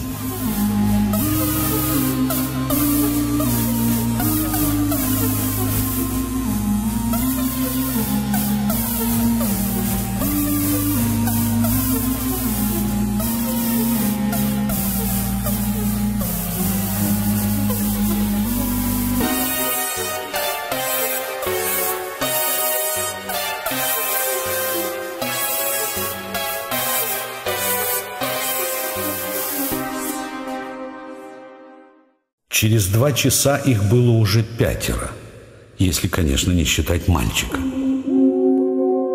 Сын Захара, устроившись на тахте в углу, время от времени принимался услаждать общество чтением избранных мест из популярной медицинской энциклопедии, которую Малянов подсунул ему в торопях по ошибке. Вечеровский, особенно элегантный по контрасту с потным и расхлюстанным Вайнгартеном, с любопытством слушал и разглядывал странного мальчика, высоко задирая рыжие брови. Он еще почти ничего не сказал по существу, задал несколько вопросов, показавшихся Малянову, да и не только одному Малянову, нелепыми. Например, он ни с того ни с сего спросил Захара, часто ли Захар конфликтует с начальством – а Глухова любит ли тот сидеть у телевизора. Выяснилось, что Захар вообще никогда ни с кем не конфликтует, такой уж у него характер, и что Глухов у телевизора сидеть да, любит, и даже не просто любит, а предпочитает. Этот Глухов мне нравится. Какой-то он удивительно уютный и невредный. Маленький, тощенький, курносый, с красноватыми глазками за сильными большими очками. По приходе Глухов с удовольствием выпил предложенный Вайнгартеном стаканчик водки и заметно огорчился, узнав, что это последний. Когда его подвергли перекрестному допросу, он выслушал каждого очень внимательно, по-профессорски склонив голову к правому плечу и скосив глаза направо же. Э, «Нет, нет, нет, ничего подобного со мной не было, помилуйте, я даже Представить себе такого не могу. А тема? Какая у вас тема? Тема? Ай, боюсь, очень далекая от вас. Э, Культурное влияние США на Японию, опыт количественного и качественного анализа. У вас действительно идиосинкразия. Да, по-видимому, какая-то идиосинкразия. Я говорил с крупными медиками. Э, Случай, по их словам, редчайший. Ну, В общем, с Глуховым, по-видимому, пустой номер. Но все равно хорошо, что он здесь. Он был какой-то очень от мира сего. С аппетитом выпил и хотел еще. С детским удовольствием ел икру. Чай предпочитал цейлонский. Читать больше всего любил детективы. На странного Захарова мальчика он смотрел с опасливым недоумением, время от времени неуверенно посмеиваясь. Бредовые рассказы выслушал с огромным сочувствием, то и дело принимался чесать обеими руками у себя за ушами. Да, да, это поразительно. Невероятно. С Глуховым все ясно. Ни новой информации от него, ни тем более советов ждать не приходится. Вайнгартен, как всегда в присутствии Вечеровского, несколько уменьшился в объеме. Он даже стал как-то приличнее выглядеть. Впрочем, последние зерна черной икры сожрал все-таки он. Захар вообще не говорил ни слова, если не считать коротких ответов на неожиданные вопросы Вечеровского. Даже историю его собственных злоключений ему не пришлось рассказывать. За него рассказал Вайнгартен. Из странного своего сына он перестал увещевать вовсе и только болезненно улыбался. И вот они сидели и молчали.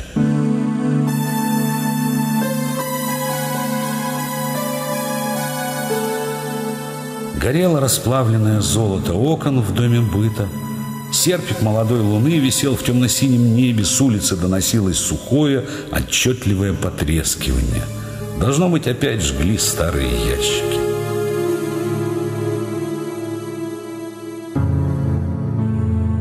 Сигареты у кого есть еще?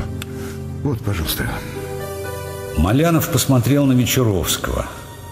Тот сидел в кресле, вытянув и скрестив ноги, и внимательно изучал ногти на правой руке. Малянов посмотрел на Вайнгартена. Вайнгартен раскуривал сигарету и поверх огонька смотрел на Вечеровского. И Захар смотрел на Вечеровского. И Глухов.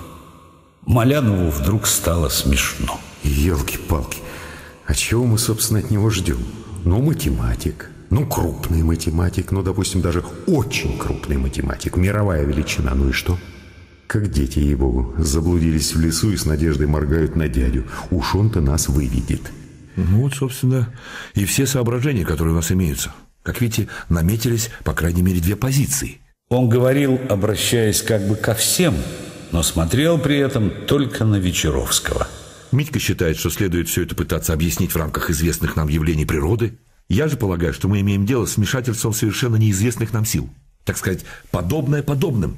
Фантастическое фантастическим. Ведь нет, чтобы просто и честно сказать. Дядя, голубчик, заблудились, выведи. Нет, ему, понимаете, резюме нужно. Мы здесь сами не лыком шиты. Ну и сиди теперь как дурак. Малянов взял чайник и пошел от Валькиного срама на кухню. Он не слышал, о чем шла речь, пока наливал воду и ставил чайник на газ. Когда он вернулся, Вечеровский неторопливо говорил, внимательно разглядывая ногти теперь уже на левой руке. И поэтому я склоняюсь все-таки к вашей точке зрения, Валя. Действительно, фантастическое, по-видимому, надлежит объяснять фантастическим. Я полагаю, что все вы оказались в сфере внимания, ну, назовем так, сверхцивилизации. По-моему, это уже устоявшийся термин для обозначения нового разума, намного порядков более могущественного, нежели человеческий. Вайнгартен, глубоко затягиваясь и выпуская дым, мерно кивал с необычайно важным и сосредоточенным видом. Почему им понадобилось останавливать именно ваши исследования? Вопрос не только сложный, но и праздный. Существо дела состоит в том, что человечество, само того не подозревая, вызвало на себя контакт и перестало быть самодавляющей системой. По-видимому, сами того не подозревая, мы наступили на мозоль некой сверхцивилизации, и эта сверхцивилизация, по-видимому, поставила своей целью регулировать отныне наш прогресс по своему усмотрению. Да, Фил, да подожди! Неужели даже ты не понимаешь? Какая к черту сверхцивилизация? Что это за сверхцивилизация, которая тычется в нас, как, как слепой котенок? Зачем вся эта бессмыслица? Этот мой следователь, да еще с коньяком, бабы эти Захаровы. Где основной принцип разума, целесообразность, экономичность? Это частности, Дима. Зачем мерить нечеловеческую целесообразность человеческими мерками? И потом представь себе, с какой силой ты бьешь себя по щеке, чтобы убить несчастного комара? Ведь таким ударом можно было бы убить всех комаров в округе разом. Или, например, какова целесообразность постройки моста через реку с точки зрения щуки? Ну, не знаю. Нелепо это все как-то. Я хотел бы подчеркнуть вот что. При такой постановке вопроса ваши личные неприятности и проблемы отходят на второй план. Речь теперь идет уже о судьбе человечества. Ну, возможно, не о судьбе человечества в роковом смысле этого слова, однако, во всяком случае, о его достоинстве. Так что перед нами стоит задача защитить не просто вашу, Валя, теорию ревертаза, но судьбу всей нашей планетной биологии вообще – или я ошибаюсь?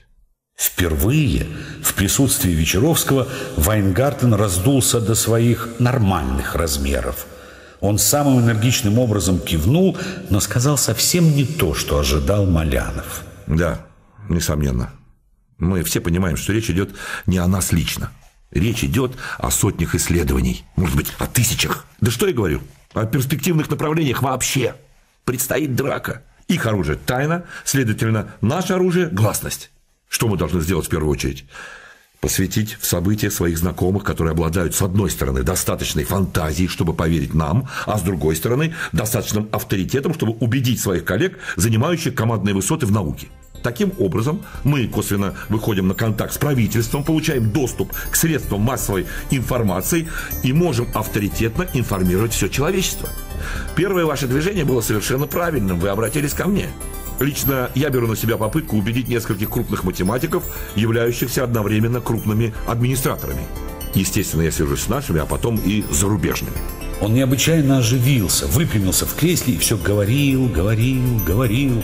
Он называл имена, звания, должности. Он очень четко определил, кому должен обратиться Малянов, кому Вайнгарден. Можно было подумать, что он уже несколько дней сидел над составлением подробного плана действий. Но чем больше он говорил, тем большее уныние охватывало Малянова – и когда Вечеровский с каким-то совсем уже неприличным пылом перешел ко второй части своей программы, к апофеозу, в котором объединенное всеобщей тревогой человечество в едином строю сплоченными мощностями всей планеты дает отпор сверхцивилизованному супостату, вот тут Малянов почувствовал, что с него хватит, поднялся, пошел на кухню и заварил новый чай.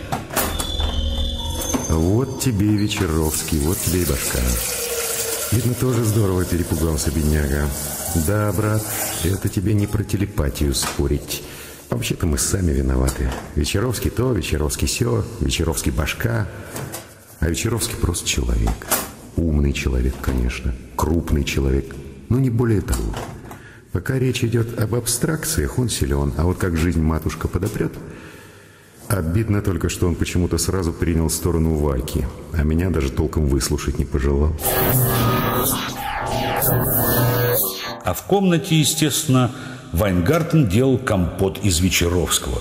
Потому что, знаете ли, пиетет пиететом, а когда человек несет околесицу, то уж тут никакой пиетет ему не поможет. Уж не воображаете ли вы, Вечеровский, что имеете дело с полными идиотами? Может быть, у вас, у Вечеровского, есть в запасе пара авторитетных и в то же время полоумных академиков, которые после полубанки способны встретить такую вот информацию с энтузиазмом. Лично у меня подобных академиков нет.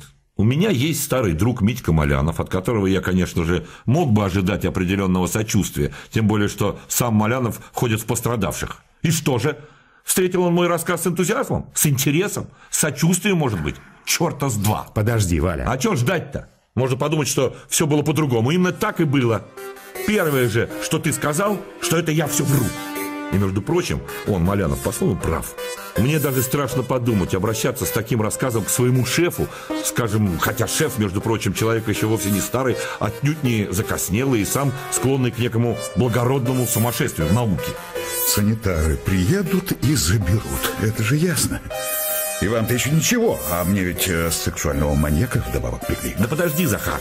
Нет, Фил, честное слово, я вас просто не узнаю. Ведь мы тут же кончимся, как ученые, немедленно. Рожки до ножки останутся от нашего реноме. А потом, черт побери, если предположить даже, что нам удалось бы найти одного-двух сочувствующих из Академии, ну как они пойдут с этим бредом в правительство? Кто рискнет? Это же черт знает, как человека должно прожить, чтобы он рискнул. А уж человечество наше, наши дорогие сопланетники. А, налей-ка, Митька, погорячее. Гласность, гласность, знаете ли, палка о двух концах. Вайнгартен принялся шумно пить чай, то и дело проводя волосатой рукой по потному носу. Ну, кому еще налить?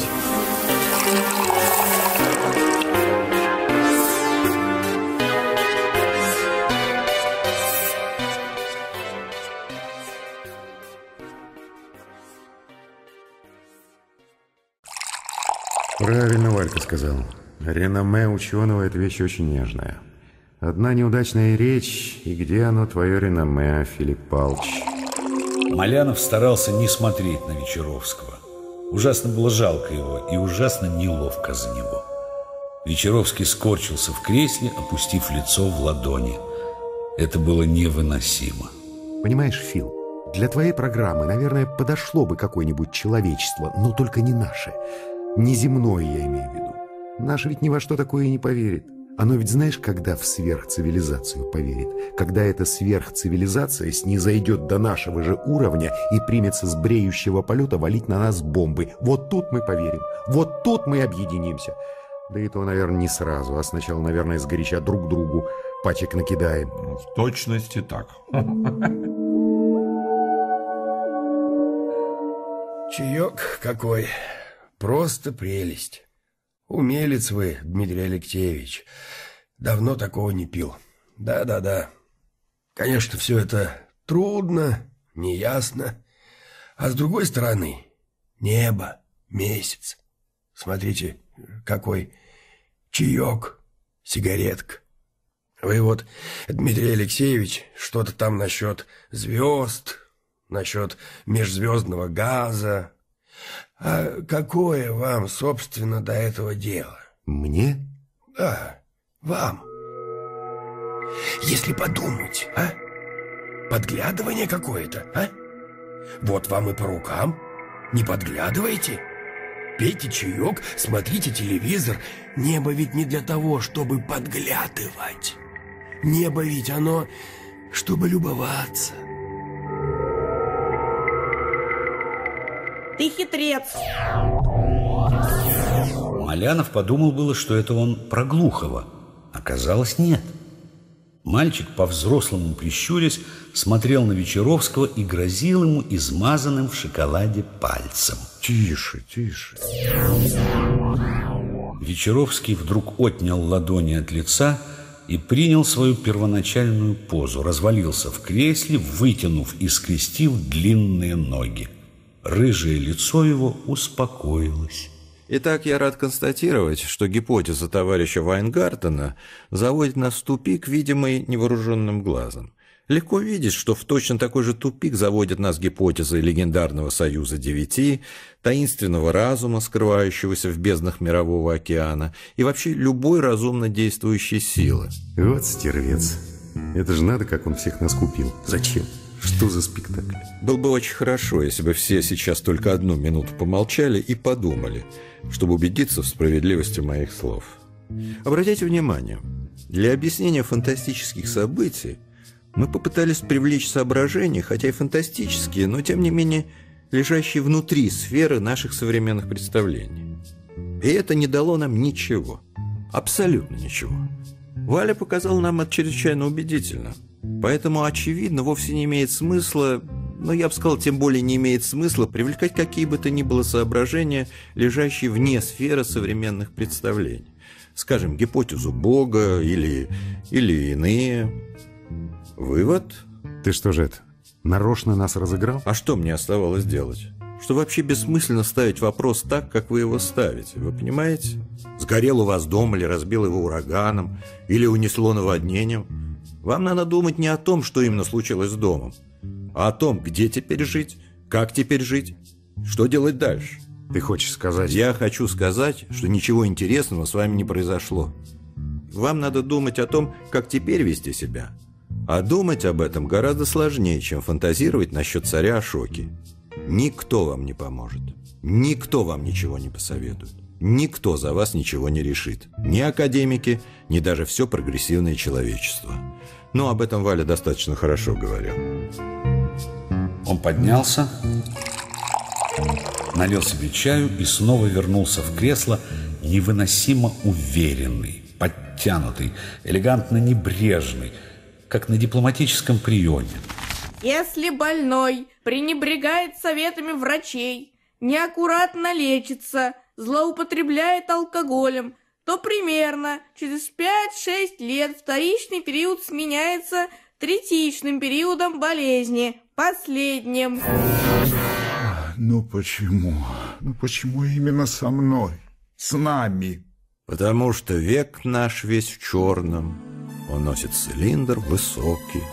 И все-таки мы продолжаем бежать, а затем, когда бьет на часах бездействия час и час отстранения отдел повседневный, тогда приходит к нам раздвоение, и мы ни о чем не мечтаем. Тьфу на тебя. Вайнгартен выкопал из переполненной пепельницы чинарик подлиннее, сунул его в толстые губы, чиркнул спичкой и некоторое время сидел так, совершенно скосив глаза на огонек. Действительно, не все ли равно, какая именно сила, если она заведомо превышает человеческую? Тля, на которую упал кирпич, или тля, на которую упал двугривенный? Только я не тля. Я могу выбирать. Выбирать. Легко сказать выбирать. Легко сказать выбирать. Да ясно же. Неужели не ясно, что выбирать? Жизнь надо выбирать. Что же еще? Не телескопы же ваши, не пробирки. Да пусть они ими подавятся, телескопами вашими, диффузными газами. Жить надо. Любить надо. Природу ощущать надо. Ощущать, а не ковыряться в ней. Когда я сейчас смотрю на дерево, на куст, я чувствую, я знаю, это мой друг. Мы существуем друг для друга. Мы друг другу нужны. Сейчас? Простите. А ведь мы с вами знакомы, Владимир Семенович. Помните? Эстония, школа мат-лингвистики, финская баня, пиво. Да-да, да. Вы были тогда совсем другим. Ну, так когда это было? Бароны, знаете ли, стареют. Бароны также и воюют. Не так уж давно это было. Ну, знаете... Малянов ничего не понял в этой интермедии, но что-то в ней было. Что-то неприятное. Неспроста они друг другу это все говорили. А Захар, видимо, понял. Понял как-то по-своему. Какую-то обиду для себя он почувствовал в этом небольшом разговоре. Какое-то оскорбление. Что-то. Потому что вдруг с необычайной резкостью, чуть ли не со злобой почти, выкрикнул, обращаясь к Вечеровскому. Снегового-то они убили.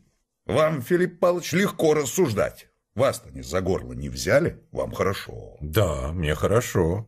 Мне хорошо, и вот Владимир Семенович тоже хорошо. Правда, Владимир Семенович? Маленький уютный человек с красными кроличьими глазами за сильными стеклами старомодных очков в стальной оправе снова развел руками. Прошу прощения, друзья, но мне пора идти. Уже поздно. Да и нам пора. Пойдем, Захар. Пойдем.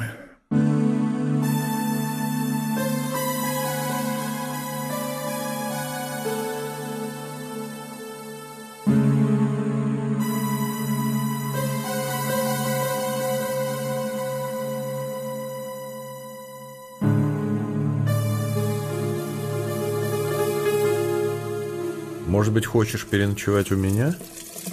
Малянов мыл посуду и обдумывал это предложение. Вечеровский не торопил его с ответом. Он снова удалился в общую комнату, некоторое время двигался там, вернулся с кучей мусора в подмокшей газете и сунул мусор в ведро. Затем он взял тряпку и принялся вытирать кухонный стол. Вообще-то после всех сегодняшних событий и разговоров оставаться одному как не в жилу. А с другой стороны, бросать квартиру и уходить как-то неловко и, прям скажем, стыдно. Получается, что они меня все-таки выживают. Терпеть не могу ночевать в чужих домах, даже у друзей, даже у Вечеровского. Малянов вдруг совершенно явственно ощутил аромат кофе. Хрупкая, как розовый лепесток, розовая чашечка, и в ней волшебный напиток а-ля Вечеровский. Не на ночь же его пить. Кофе можно выпить утром. Малянов домыл последнее блюдце, поставил его в сушилку, кое-как затер лужу на линолеуме и пошел в большую комнату. Вечеровский уже сидел там в кресле, развернувшись лицом к окну. Небо за окном было розовое с золотом. Молодой месяц, словно на минарете, торчал в точности над крышей двенадцатиэтажника. Малянов взял свое кресло, тоже развернул к окну и тоже уселся. Теперь их с Вечеровским разделял стол. Фил порядок навел. Книги стопочкой, недельной пыли и следа не осталось, карандаши и ручка рядом с календарем. И как он ухитряется при этом оставаться элегантным и подтянутым, без единого пятнышка. Они молчали и смотрели, как в двенадцатиэтажнике одно за другим гаснут окна. Вечеровский тихо гладил Коляма длинной узкой ладонью, не отрывая глаз от огней за окном. Он линяет. Неважно. Они опять замолчали.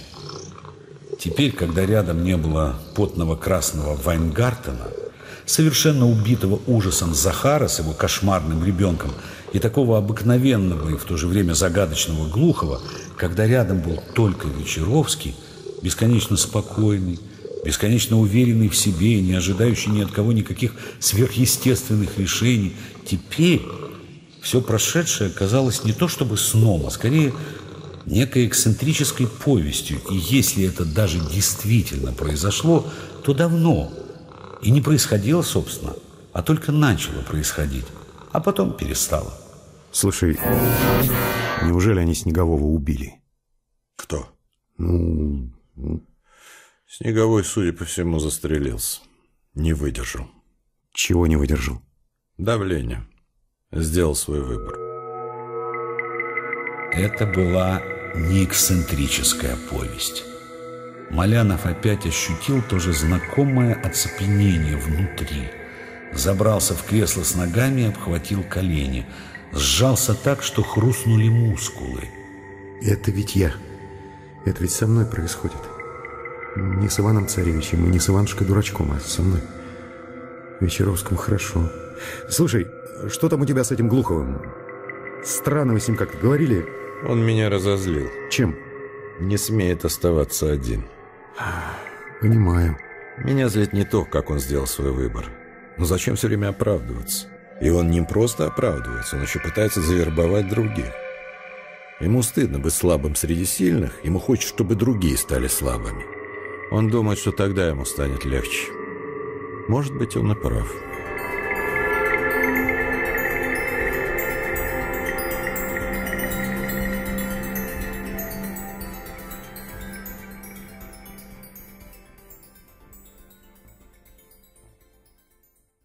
Может быть, он и прав, но меня такая позиция бесит. Ты хочешь сказать, что Глухов тоже под давлением? Он был под давлением. Теперь он раздавлен. Подожди, подожди, позволь. А ты не понял? А вот Захар понял. А между тем, посуди сам. Человек любит детективы, человек любит посидеть у телевизора. Сегодня как раз очередная серия этого убогого фильма. И вдруг он срывается с насиженного места, мчится к совершенно незнакомым людям. Для чего? Для чего? Вот и я тебя спрашиваю, для чего? Чтобы пожаловаться на свои головные боли? А потом, я ведь его сразу узнал. Точнее, не сразу. Сначала его просто пожалел. Но когда он принялся рекламировать свое новое мировоззрение, это меня взбесило. Малянов снова изо всех сил сжался в комок. Вот, значит, как это выглядит. Человека просто расплющило. Он остался жив, но он уже не тот. Вырожденная материя, вырожденный дух не выдержал. Елки-палки. Но ведь бывают, наверное, такие давления, что никакой человек не выдержит. Значит, ты и Снегового осуждаешь?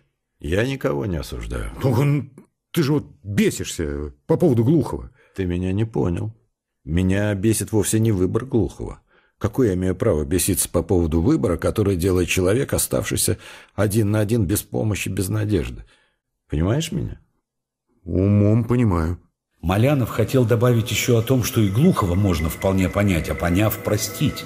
Но вдруг почувствовал, что не может больше говорить. Его трясло.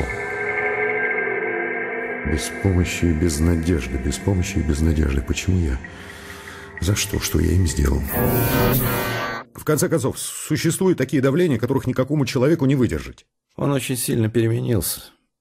Это ведь был этакий живчик, энергичный, крикливый, ядовитый. Никакого русаизма, никаких рюмочек. Еще вчера я был человеком, членом социума. У меня были свои заботы и свои неприятности. Но пока я соблюдал законы, установленные социумом, а это было вовсе не так уж трудно, пока я соблюдал эти законы, меня от всех мысленных опасностей надежно охраняли милиция, армия, профсоюзы, общественное мнение, друзья, семья. Семья, наконец. И вот что-то сместилось в окружающем мире, и я превратился в одинокого пескаря, затаившегося в щели, а вокруг ходят и реют чудовищные неразличимые тени, которым даже и зубастых пастей не надо, достаточно легкого движения плавника, чтобы стереть меня в порошок, расплющить, обратить в ничто. Меня раздражает поведение Глухого после выбора. И мне дано понять, что пока я сижу в этой щели, меня не тронут. Даже еще страшнее. Меня отделили от человечества, как отделяют овцу от стада, и волокут куда-то, неизвестно куда, неизвестно зачем. А стадо, не подозревая об этом, спокойно идет своим путем и уходит все дальше и дальше. Если бы это были какие-нибудь воинственные пришельцы, если бы это была страшная разрушительная агрессия из космоса, из недр океана, из четвертого измерения, насколько бы мне было легче. Я был бы одним из многих. Мне нашлось бы место, мне нашлось бы дело, я был бы в рядах. А так я буду погибать у всех на глазах, и никто ничего не заметит. Слава богу, что хоть Ирки здесь нет, слава богу, что хоть ее это не касается. Бред, бред. Меня раздражает поведение Глухого после выбора. Повторяю, он стыдится своего выбора и поэтому, только поэтому, старается соблазнить других в свою веру. То есть, по сути, усиливает и без того могучую силу. Малянов изо всех сил потряс головой и рванул себя за волосы. И весь этот кошмар из-за того, что я занимаюсь диффузионной материей? По-видимому, да. Слушай, Фил, ну в этом нет никакого смысла. Нет, с человеческой точки зрения никакого. Но ведь люди как раз ничего не имеют против твоих занятий. А кто имеет? Опять 25 за рыбу деньги.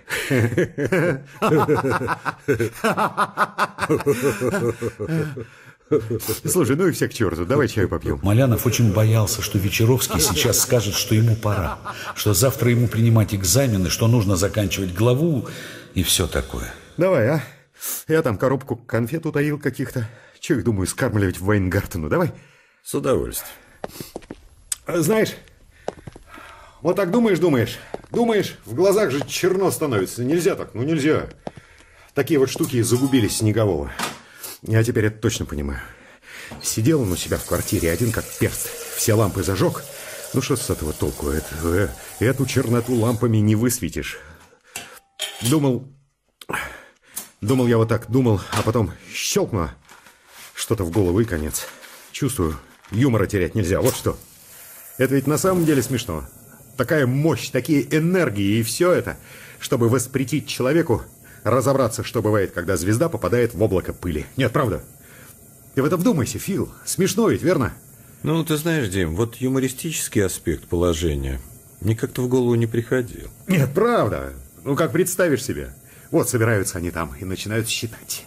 На исследование кольчатых червей мы бросаем 100 мегаватт, на проталкивание такого-то проекта 75 гигаватт, а на запрещение Малянову хватит и 10. А кто-нибудь там возражает. Десятки дед мало. Надо ведь телефонными звонками его заморочить раз. Коньяку ему с бабой подсунуть два. Нет, как хочешь, это смешно. Да, это довольно смешно. Не очень. Воображение у тебя, Дим, все-таки убогое. Даже странно, как ты до своей пузырей додумался. Какие пузыри? Не было никаких пузырей и не будет. Бросьте меня колоть, гражданин начальник. Ничего я не видел, ничего не слышал. Маруха Нинка подтвердит, не было меня там. И вообще у меня плановая тема – инфракрасный спектрометр, а все остальное – интеллигентская вылазка. Галилеев комплекс. Ну ладно. Убогое воображение, пожалуйста. Но согласись, если от всех этих неприятных деталей отвлечься, чертовски интересно все получается. Все-таки получается, что они существуют. Столько болтали, столько гадали, столько врали. Блюдечки дурацкие выдумывали. Бальбекские веранды, а они все-таки существуют. Только, конечно, совсем не так они существуют, как мы думали. Я, между прочим, всегда был уверен, что когда они наконец объявятся, они будут совершенно не похожи на все то, что про них навыдумывали. А кто это они? Пришельцы. Или, выражаясь по науке, сверхцивилизация. А, понимаю. Действительно, еще никто не додумался, что они будут похожи на девицу со странным поведением. Ладно, ладно. У меня воображение убогое, а у тебя его, видно, и совсем нет. Пожалуй. Но я совершенно не в состоянии вообразить то, чего, по-моему, не существует. Флагистон, например, он же теплород. Или, скажем, всемирный эфир. Не-не-не, ты завари свежий, пожалуйста. И, и не жалей заварки. Сам знаю. Так что ты там насчет флагистона? Я никогда не верил в флагистон. И я никогда не верил в сверхцивилизацию. И флагистон, и сверхцивилизация – все это слишком человеческое. Как у Бадлера. Слишком человеческое, следовательно, животное. Не от разума, от неразумия. Позволь. Ну, ты же сам признал, что мы имеем дело со сверхцивилизацией. Отнюдь. Точнее, отнюдь нет. Это вы признали, что имеете дело со сверхцивилизацией. А я воспользовался этим обстоятельством просто для того, чтобы наставить вас на путь истины. Подожди, а где же конфеты? А, вот они. Видал? О, пиковая дама. Привет от сверхцивилизации. Да, так что ты там говорил? А, совсем меня с толку сбил. Да, а, ты что же, даже после всего утверждаешь? Mm-hmm. Утверждаю. Я всегда знал, что никаких сверхцивилизаций не существует. А теперь, после всего, как ты выразился, я догадываюсь, почему не существует. Б, подожди, подожди. Почему и так далее, это все теория. А ты мне вот что скажи. Если это не сверхцивилизация, если это не пришельцы в самом широком смысле этого слова, тогда кто? Я разозлился. Ты знаешь что-нибудь или парадоксами развлекаешься? Один человек застрелился, из другого сделали медузу. Что нам голову морочишь? Я?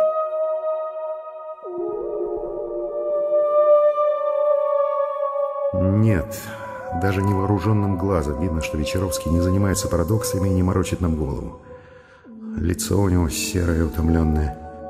Какое-то огромное, доселе тщательно скрываемое, а теперь вырвавшееся на волю напряжение проступает на лице. Или, может быть, упрямство. Жестокое, яростное упрямство. Он даже на себя перестал быть похож. У него-то ведь лицо, в общем, скорее вялое. Сонное аристократически тухлицо, а тут оно буквально на глазах все словно окаменело. Мне страшно. Создается впечатление, что Вечеровский сидит здесь вовсе не потому, что хочет меня морально поддержать, и вовсе не потому он приглашал меня переночевать у него, а давеча посидеть у него и поработать. И хотя мне очень страшно, мне жаль его. Жалость эта ни на чем, собственно, не основана, только на каких-то мутных ощущениях, да на том, как вдруг переменилось его лицо.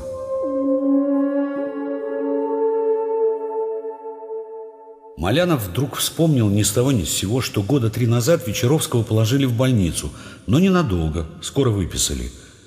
Неизвестная ранее форма доброкачественной опухоли. Я об этом узнал только прошлой осенью. Я ведь встречался с ним каждый божий день, пил у него кофеек, слушал его марсианское уханье, жаловался ему, что фурункулы одолели. И ничего, ничегошеньки не подозревал.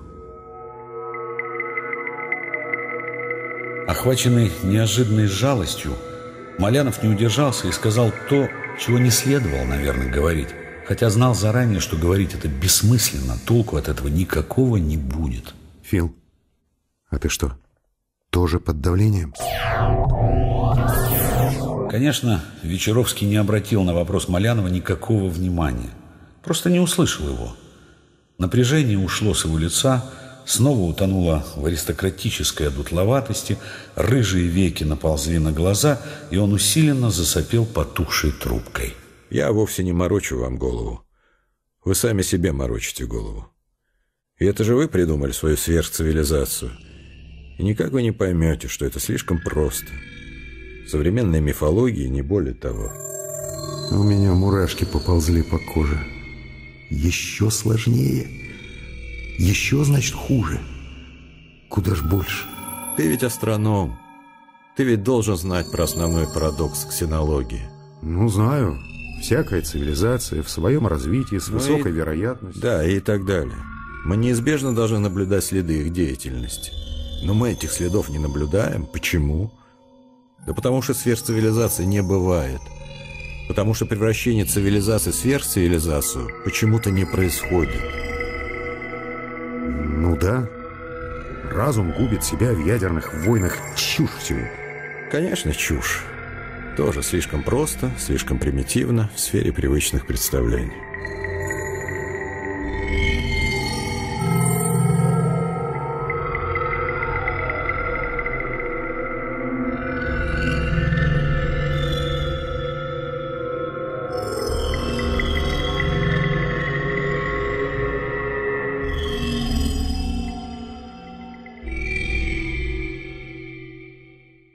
Слишком просто, слишком примитивно. Подожди.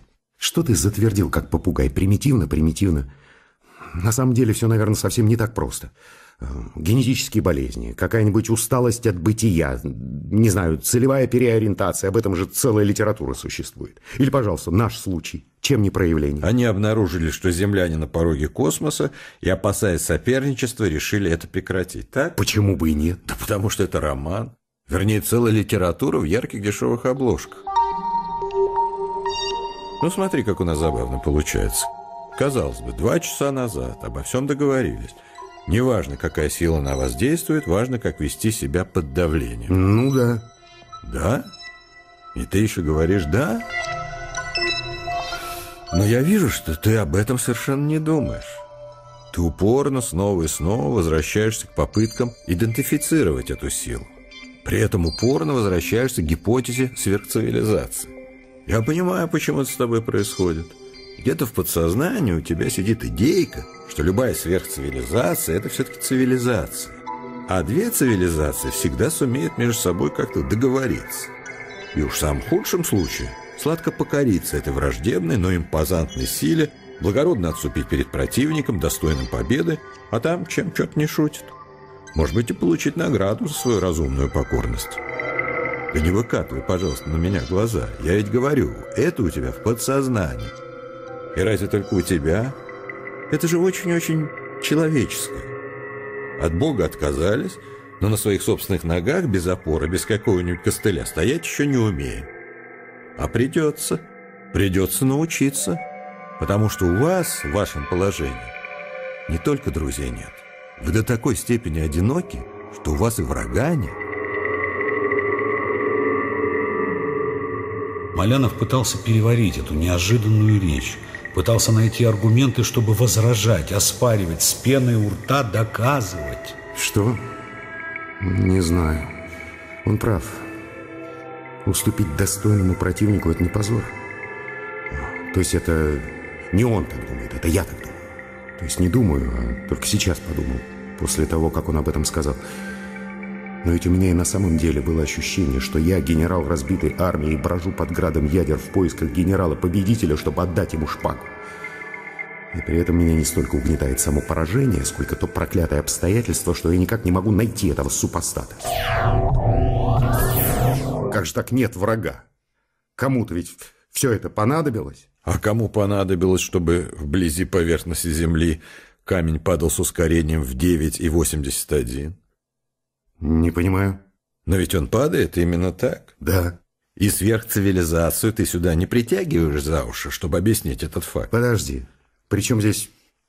Ты хочешь сказать, что мы имеем дело с каким-то Стихийным бедствием, что ли, с явлением природы? Если угодно. Ну, знаешь ли, голубчик. А ты все-таки постарайся отказаться от эпициклов. Попробуй все-таки поставить в центр не Землю, а Солнце. Ты сразу почувствуешь, насколько все упростится. То есть у тебя есть своя гипотеза? Изложи. Кстати, почему ты не изложил ее сразу, когда здесь был э, Вайнгартен? Ну, видишь ли, всякая новая гипотеза обладает тем недостатком, что вызывает всегда массу споров. А мне вовсе не хотелось бы спорить. А чего бы тебе хотелось? Убедить нас в том, что мы поставлены перед неким выбором, и выбор этот должны сделать в одиночку сами? Вот именно. А дела, на мой взгляд, обстоят следующим образом.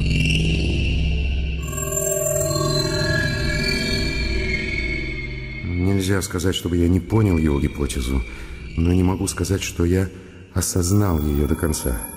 Не могу сказать, что его гипотеза убедила меня, но с другой стороны, все происходившее с нами в нее укладывалось.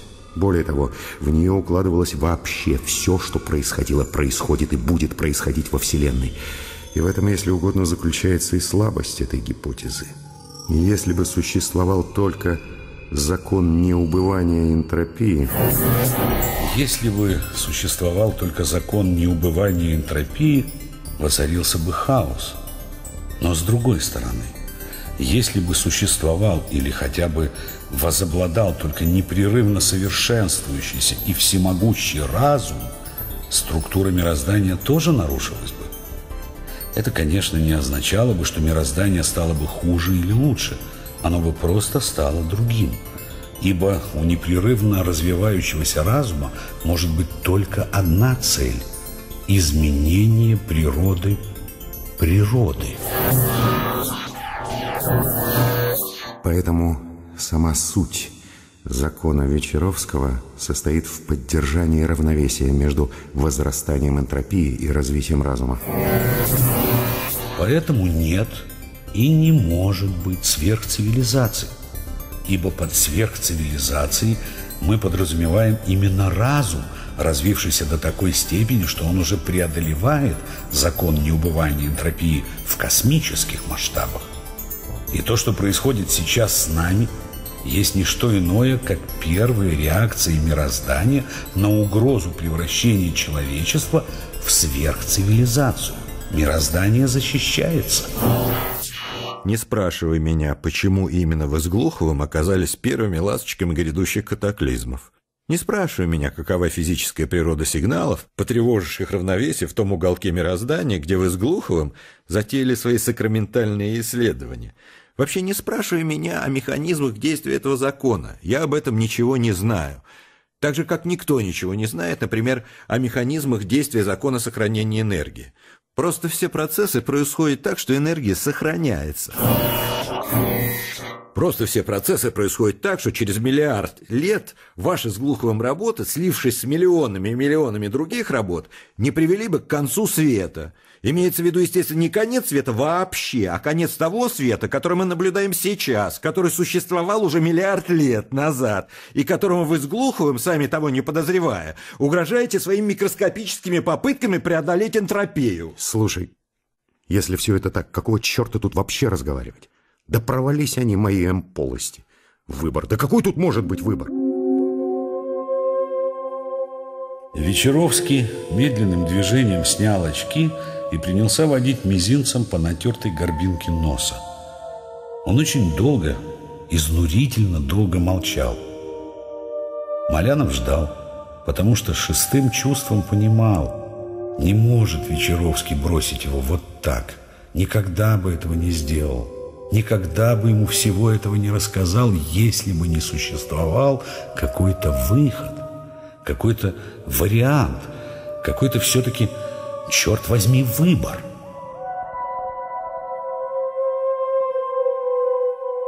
И вот он кончил сандалить свой нос и снова надел очки. Сказали мне, что эта дорога меня приведет к океану смерти. И я с полпути повернул обратно. С тех пор все тянутся передо мною кривые глухие окольные пути. Ну? Повторить? Ну, повтори. Вечеровский повторил. Малянову захотелось заплакать. Он торопливо поднялся, налил чайник и снова поставил его на газ. Хорошо, что чай на свете есть. Давно бы уже пьяный под столом валялся. Я все-таки предпочитаю кофе. И тут Малянов услышал, как в замке входной двери поворачивается ключ. Малянов побледнел. Или даже посинел. Спокойно, Дима, спокойно. Я с тобой. Колямушка, Димка. Ирка! Малянова вынесла в коридор, и он схватил Ирку в охапку, стиснул ее, прижался. Ирка! Малянов вдохнул запах знакомых духов, у нее были мокрые щеки, и она тоже бормотала что-то странное. Ой, ты живой, Господи. Потом они опомнились. Во всяком случае, Малянов опомнился. То есть до него дошло, что она бормочет. И его аморфный деревянный ужас сменился вполне конкретным житейским испугом. Он поставил ее на ноги, отстранился, вгляделся в заплаканное лицо. Что я только не думала, Димка. Подожди, что случилось, Ир? Почему ты здесь? А Бобка? Она не слушала его. Она цеплялась за его руки и лихорадочно шарила мокрыми глазами по его лицу. Ой, я же чуть с ума не сошла. Я думала, что уже не успею. Ой, да что же это такое? Не разнимая рук, они протиснулись в кухню. Он усадил ее на свою табуретку, а Вечеровский молча налил ей крепкого чаю прямо из заварочного чайника. Она жадно выпила, расплескав половину на пыльник. На ней лица не было. Она так осунулась, что Малянов с трудом ее узнавал. Глаза были красные, волосы растрепаны, торчали космами. С Бобкой что-нибудь? С Бобкой. Причем здесь Бобка? Я из-за тебя чуть с ума не сошла. Что здесь произошло? Ты болел? Ты же здоров, как бык. Я почувствовал, что нижняя челюсть у меня отвисла и захлопнул рот. Ничего было не понять. Ты получила что-нибудь дурное про Диму? Нет, вы посмотрите. Посмотрите, что я получила. Господи, ну где же это? Ну, да, вот. Димой, плохо торопитесь успеть. Снеговой. Как Снеговой? Почему Снеговой? Так, отправлено сегодня утром. Когда отправлено? Сегодня утром. В 10 часов 22 минуты. Господи, да что же он, подшутил надо мной так?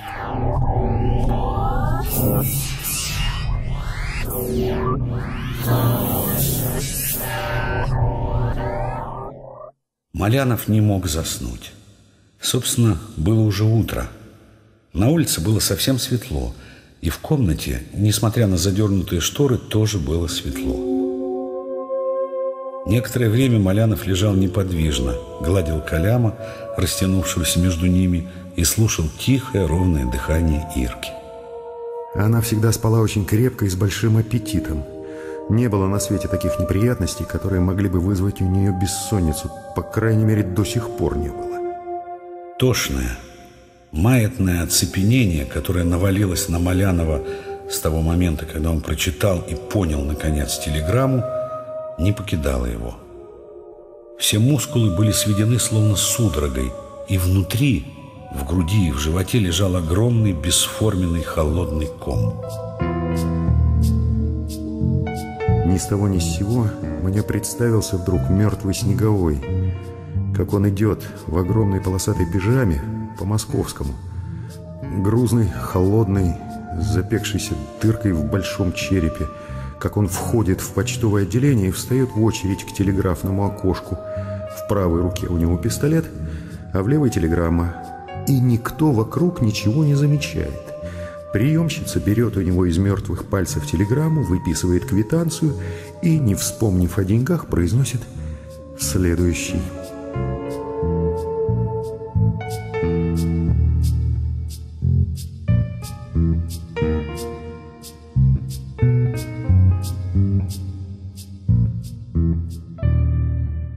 Малянов сел за стол, снова вытащил свои бумаги и начал работать. Первое время он ждал, что под столом у него разорвется какая-нибудь бомба или в окно заглянет синяя рожа с веревкой на шее. Но ничего этого не происходило, и он увлекся. Он работал и работал с удовольствием, но с каким-то непривычным удовлетворением. Никогда раньше он ничего подобного не испытывал. И некий сторож у него в мозгу, пока он работал внимательно и чутко, прослушивал и просматривал все вокруг. Помнил, что ничего не кончилось, все продолжается, и что тут же под рукой в ящике стола лежит устрашающий молоток с топориком и шипастым набалдашником. И в какой-то момент этот сторож заставил его поднять голову, потому что в комнате что-то произошло. Собственно, ничего особенного не произошло. Перед столом стояла Ирка и молча смотрела на него. Нет, все-таки что-то произошло. Что-то совсем уж неожиданное и дикое, иначе... Глаза квадратные, губы припухшие. Что ты, Ир? Что случилось? Что это такое? Это губная помада. Холодея от ужасных предчувствий, он вертел в руках золотой патрон и ничего не понимал. Что за черт? Причем здесь помада? Не прикасайся ко мне. Ирка, Иришка, тебе плохо. Животное. Скорую помощь. Не поможет, не поможет. Причем здесь скорая помощь? Валерьянки, брому, господи. Лицо-то у нее какое. Теперь все понятно. И телеграмма это понятно. И все. Докатились. Врача. Кто она? Ирка моя маленькая, врача. Ирка больше не смотрела на Малянова. Она смотрела в окно и курила, поминутно затягиваясь. Ладно, не будем. Ты сам всегда говорил, что любовь – это договор. У тебя всегда это очень красиво получалось. Любовь, честность, дружба. Словно шаровая молния лопнула в голове. Я все понял. Ирка, господи, как ты меня напугала. Конечно, это было совсем не то, что она ожидала услышать, потому что она вдруг повернула к нему лицо, бледное, милое, заплаканное лицо, и посмотрела на него с таким ожиданием, с такой надеждой, что он сам чуть не разревелся. Он больше уже не мог. Он больше не захотел держать это при себе и обрушил на нее всю лавину ужаса и сумасшествия последних двух дней.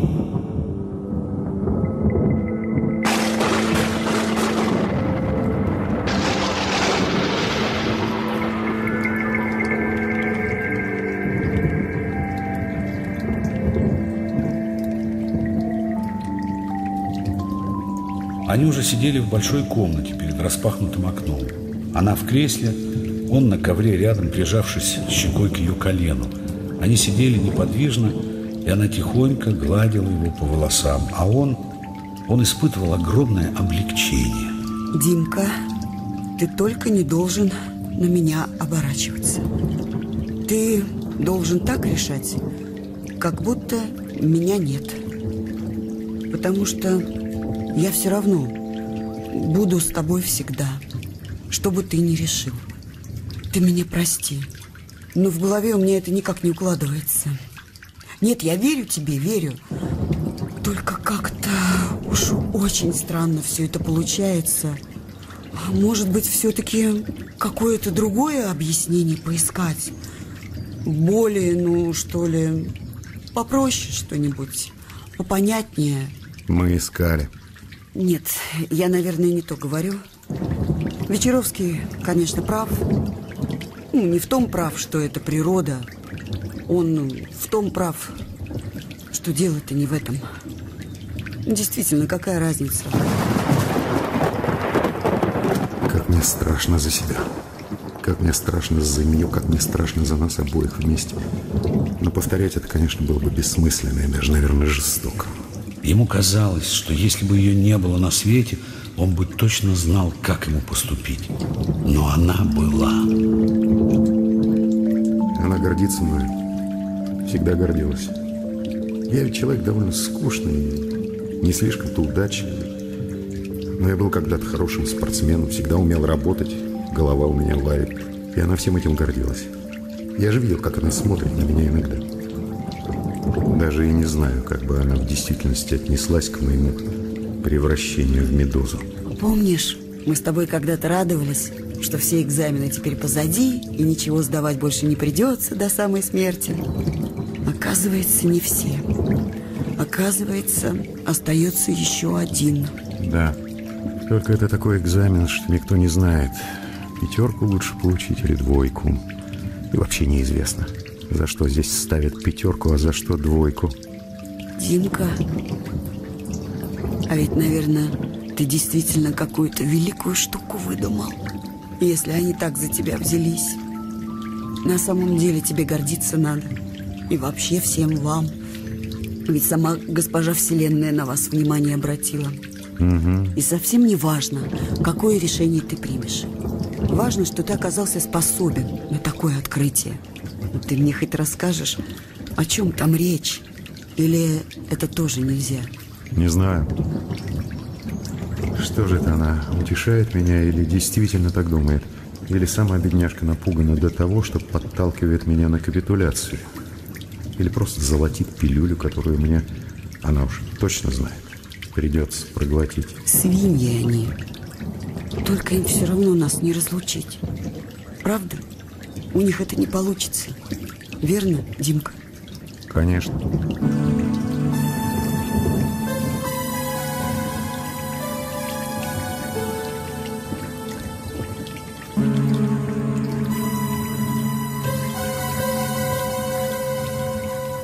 Гроза уходила. Туча, неторопливо свертываясь, уплывала на север, открывая затянутое серой мглой небо, с которого лился уже не ливень, а сыпал мелкий серенький дождик. Дождик я привезла. А это думала, мы с тобой в солнечные закатимся в субботу. До субботы еще далеко. Может, и закатимся. Все было сказано. Теперь надо было говорить о солнечном, о книжных полках для Бобки, о стиральной машине, которая опять сдохла. Обо всем этом они поговорили. И была иллюзия обычного вечера. И чтобы продлить и усилить эту иллюзию, было решено выпить чайку. Они прекрасно попили чайку, это был настоящий чай. Чай как напиток, разговаривали о чем угодно, кроме самого главного. Интересно, о чем сейчас думает Ирка? У нее такой вид, словно она уже успела забыть весь этот ужас. Сказала мне все, что думает по этому поводу, и теперь с облегчением забыла, снова оставив меня один на один с моим выбором. Я буду гладить, а ты сиди рядом и рассказывай мне про что-нибудь веселое.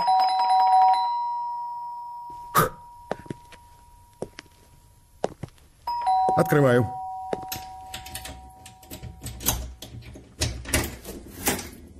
Телеграмма, прошу расписаться. Да, конечно, давайте. Спасибо. А, пожалуйста. Я знал, что ничего хорошего ждать нельзя. Ира, на вот, почитай. Малянов направился прямо к своему столу. Он собрал листки, разложил их по порядку и сунул в общую тетрадь. Затем он достал новенькую папку для бумаг, вложил туда все, завязал тесемки и, не присаживаясь, написал на обложке чертежным шрифтом «Д. Малянов» к вопросу о взаимодействии звезд с диффузионной материей в галактике.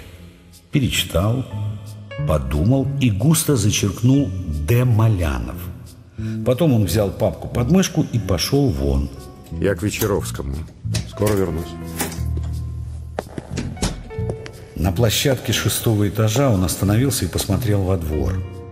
Огромное дерево влажно поблескивало черной листвой, и двор был пуст, и блестели рябы от дождя лужи.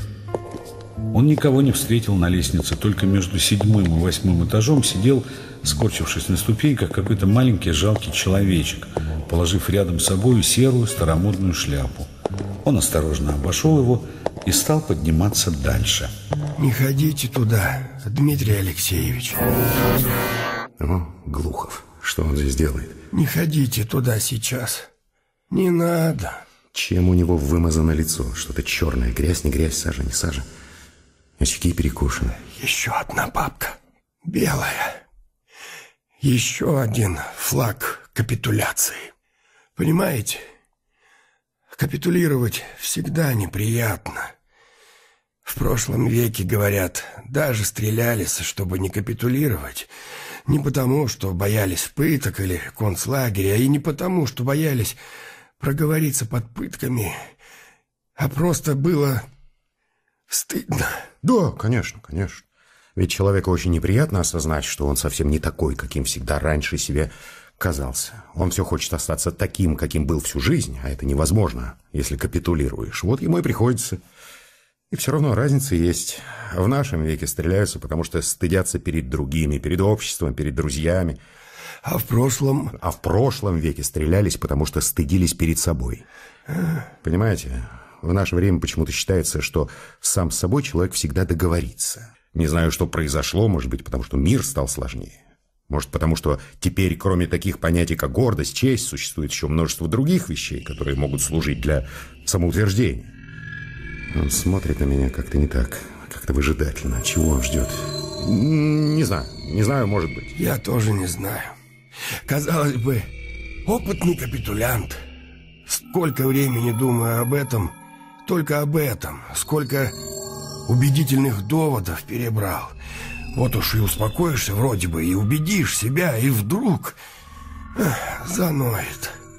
Конечно, двадцатый век, девятнадцатый век — Разница есть, но раны остаются ранами. Они заживают, рубцуются, и вроде бы ты о них уже и забыл вовсе, а потом переменится погода. Они и заноют. Уж так-то всегда было, во все века. Я понимаю, я все это понимаю. Но ведь есть раны и раны. Иногда чужие раны больнее. Почему мы так мучаемся? Я не могу разобраться. Малянов молчал. Вялым, расслабленным движением Глухов нахлобучил свою смешную шляпу. Ну что ж, прощайте, Дмитрий Алексеевич. Мы, наверное, никогда больше с вами не увидимся. Но все равно было очень приятно с вами познакомиться. Да. Малянов стоял и слушал, как он шаркает по ступенькам, спускаясь все ниже и ниже. Слушал до тех пор, пока глубоко внизу не заскрипела, распахиваясь дверь. И снова стало тихо. Он поправил папку под мышкой, миновал последнюю площадку и, придерживаясь за перила, одолел последний пролет. У дверей Вечеровского он постоял, прислушиваясь. Кто-то там был бубнили голоса, незнакомые. Наверное, надо было вернуться и прийти попозже, но у Малянова не было сил на это. Надо кончать.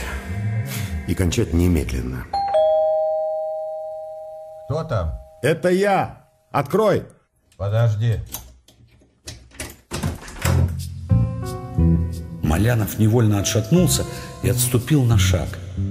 Такого Вечеровского он еще не видел никогда. Заходи. Ты все-таки принес. Я этого ждал, правда, не так быстро. Кто у тебя? Никого. Нас двое. Мы и Вселенная. Извини, я все-таки умоюсь. Вечеровский ушел, а Малянов присел на ручку кресла и огляделся. У комнаты был такой вид, словно здесь взорвался картуз черного пороха. Пятна черной копоти на стенах тоненькие ниточки копоти, плавающие в воздухе, и какой-то желтый неприятный налет на потолке. Паркет изуродован обугленными, вдавленными, странной округлой формы. И огромное, обугленное, вдавлено на подоконнике, словно на нем разводили костер. Да, здорово Вечеровскому досталось. Малянов посмотрел на стол. Стол был завален. Посередине была раскрыта одна из огромных редакторских папок Вайнгартена, а другая лежала сбоку с завязанными тесемками. Еще лежала старомодная, сильно потертая папка с крышкой под мрамор, с ярлыком, на котором было напечатано на машинке «США-Япония. Культурное воздействие. Материалы». И были разбросаны листки, изрисованные какими-то электронными схемами. На одном было написано корявым старушечьим почерком «Губарь ЗЗ» Они же печатными буквами «Фединги». а с краю лежала его, Маляновская, новенькая белая папка. Он взял ее и положил себе на колени. Дима, иди сюда. Кофе будем пить. Однако, когда Малянов пришел на кухню, никакого кофе там не было. А посередине стола стояла бутылка коньяка и два бокала уникальной формы. Вечеровский успел не только умыться, но и переодеться. А мытое лицо его было необычайно бледным. И было в его лице еще что-то непривычное, кроме этой бледности. И только приглядевшись, Малянов понял, что брови и ресницы у него сильно опалены. Да, Вечеровскому досталось основательно. Ну, для успокоения нервов. Прозит. Ты не задаешь вопросов? У меня нет никаких вопросов. Никому. Ответ есть. Да и то один единственный. Слушай, ведь они тебя убьют. Не думаю. Промахнуться. Ну вот, теперь, когда нервы успокоены, мы можем выпить кофе и все обсудить. Мне нечего обсуждать. У меня бобка. И эти его собственные слова вдруг словно включили в нем что-то. С того момента, как он прочитал телеграмму, все мысли и чувства были у него как бы анестезированы.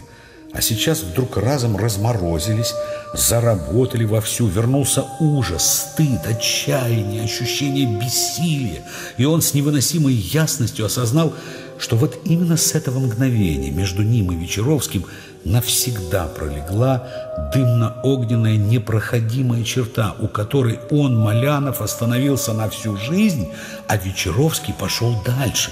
И теперь он пройдет сквозь разрывы, пыль и грязь неведомых Малянову боев и скроется в ядовито-алом зареве. Да будь она проклята, та минута, когда всплыли в моей дурацкой башке эти проклятые эмполости.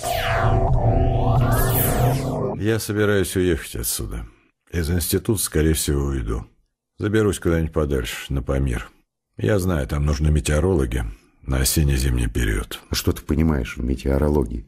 Дурацкое дело не хитро. Там никакой особой квалификации не требуется. Ну и глупо.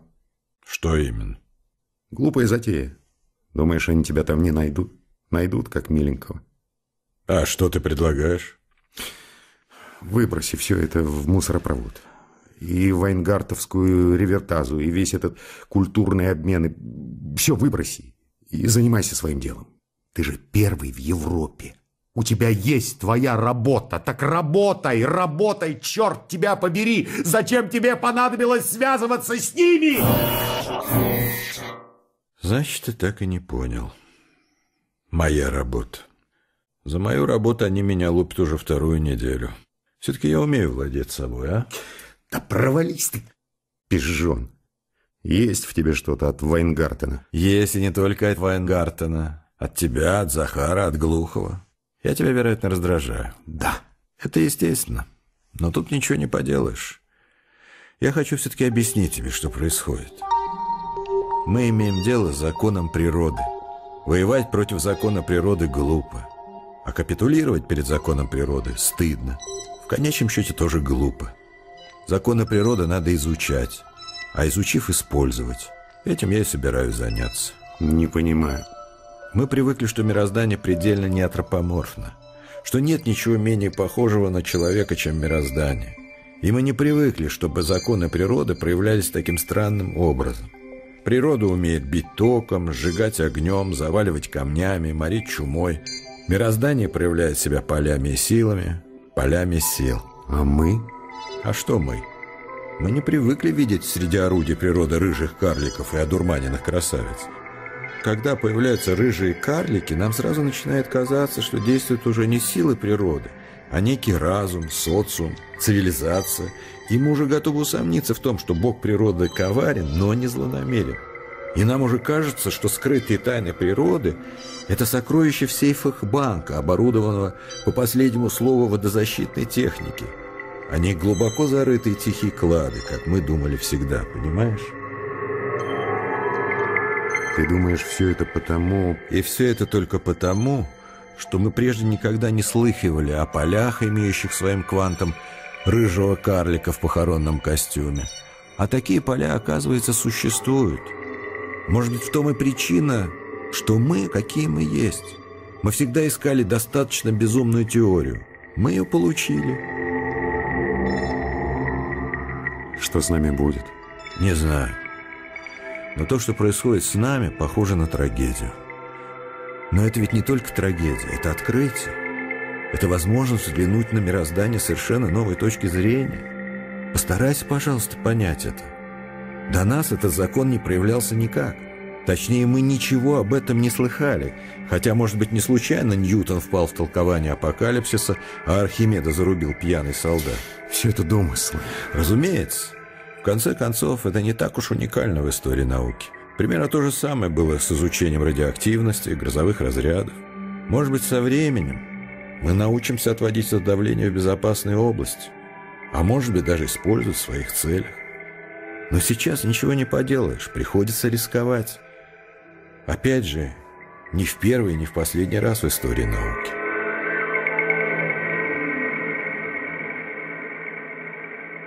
Я хотел бы, чтобы ты это понял. По сути, ничего принципиально нового и необычного в этой ситуации нет. Зачем мне это понимать? Не знаю. Может быть, ты передумаешь. И потом я хотел бы еще, чтобы ты понял. Это не на один день, и даже не на один год. Я думаю, даже не на одно столетие. Торопиться некуда. Впереди еще миллиард лет. Но начинать можно и нужно уже сейчас. А тебе, ну что ж, тебе придется только подождать, пока Бобка перестанет быть ребенком, пока ты привыкнешь к этой идее. Десять лет, двадцать лет. Роли не играет. Да, конечно. Он хотел мне помочь. Нарисовать какую-то перспективу, доказать, что я не такой уж трус, а он никакой не герой. Что мы просто два ученых, и нам предложена тема. Только по объективным обстоятельствам он может сейчас заняться этой темой, а я нет. Но легче мне не стало. Потому что он уедет на Памир и будет там возиться с Вайнгартеновской ревертазой, с Захаровыми феддингами, со своей заумной математикой и со всем прочим. А в него будут лупить шаровыми молниями, насылать на него привидения, приводить к нему обмороженных альпинистов и в особенности альпинисток, обрушивать на него лавины, коверкать вокруг него пространство и время, и в конце концов они таки ухайдакают его там. Или не ухайдакают. А может быть, вообще этого ничего не будет. А будет он тихо корпеть над нашими каракулями и искать, где в какой точке пересекаются выводы из теории М-полости и выводы из количественного анализа культурного влияния США на Японию. Это, наверное, будет очень странная точка пересечения. И вполне возможно, что в этой точке он обнаружит ключик к пониманию всей этой зловещей механики, а может быть и ключик к управлению ею. А если я не останусь дома? Но я не доверял сейчас сам себе. Угробят они тебя, Фил. Не обязательно. А потом, ведь я там буду не один. И не только там. И не только я. И он ничего не говорил больше. Но Малянову казалось, что он говорит. «Торопиться некуда», — говорит он. «До конца света еще миллиард лет», — говорит он. «Можно много, очень много успеть за миллиард лет, если не сдаваться и понимать. Понимать и не сдаваться». Я опустил глаза. Я сидел, скорчившись, прижимая к животу обеими руками свою белую папку. Повторял про себя в десятый, двадцатый раз. С тех пор все тянутся передо мной глухие, кривые, окольные тропы.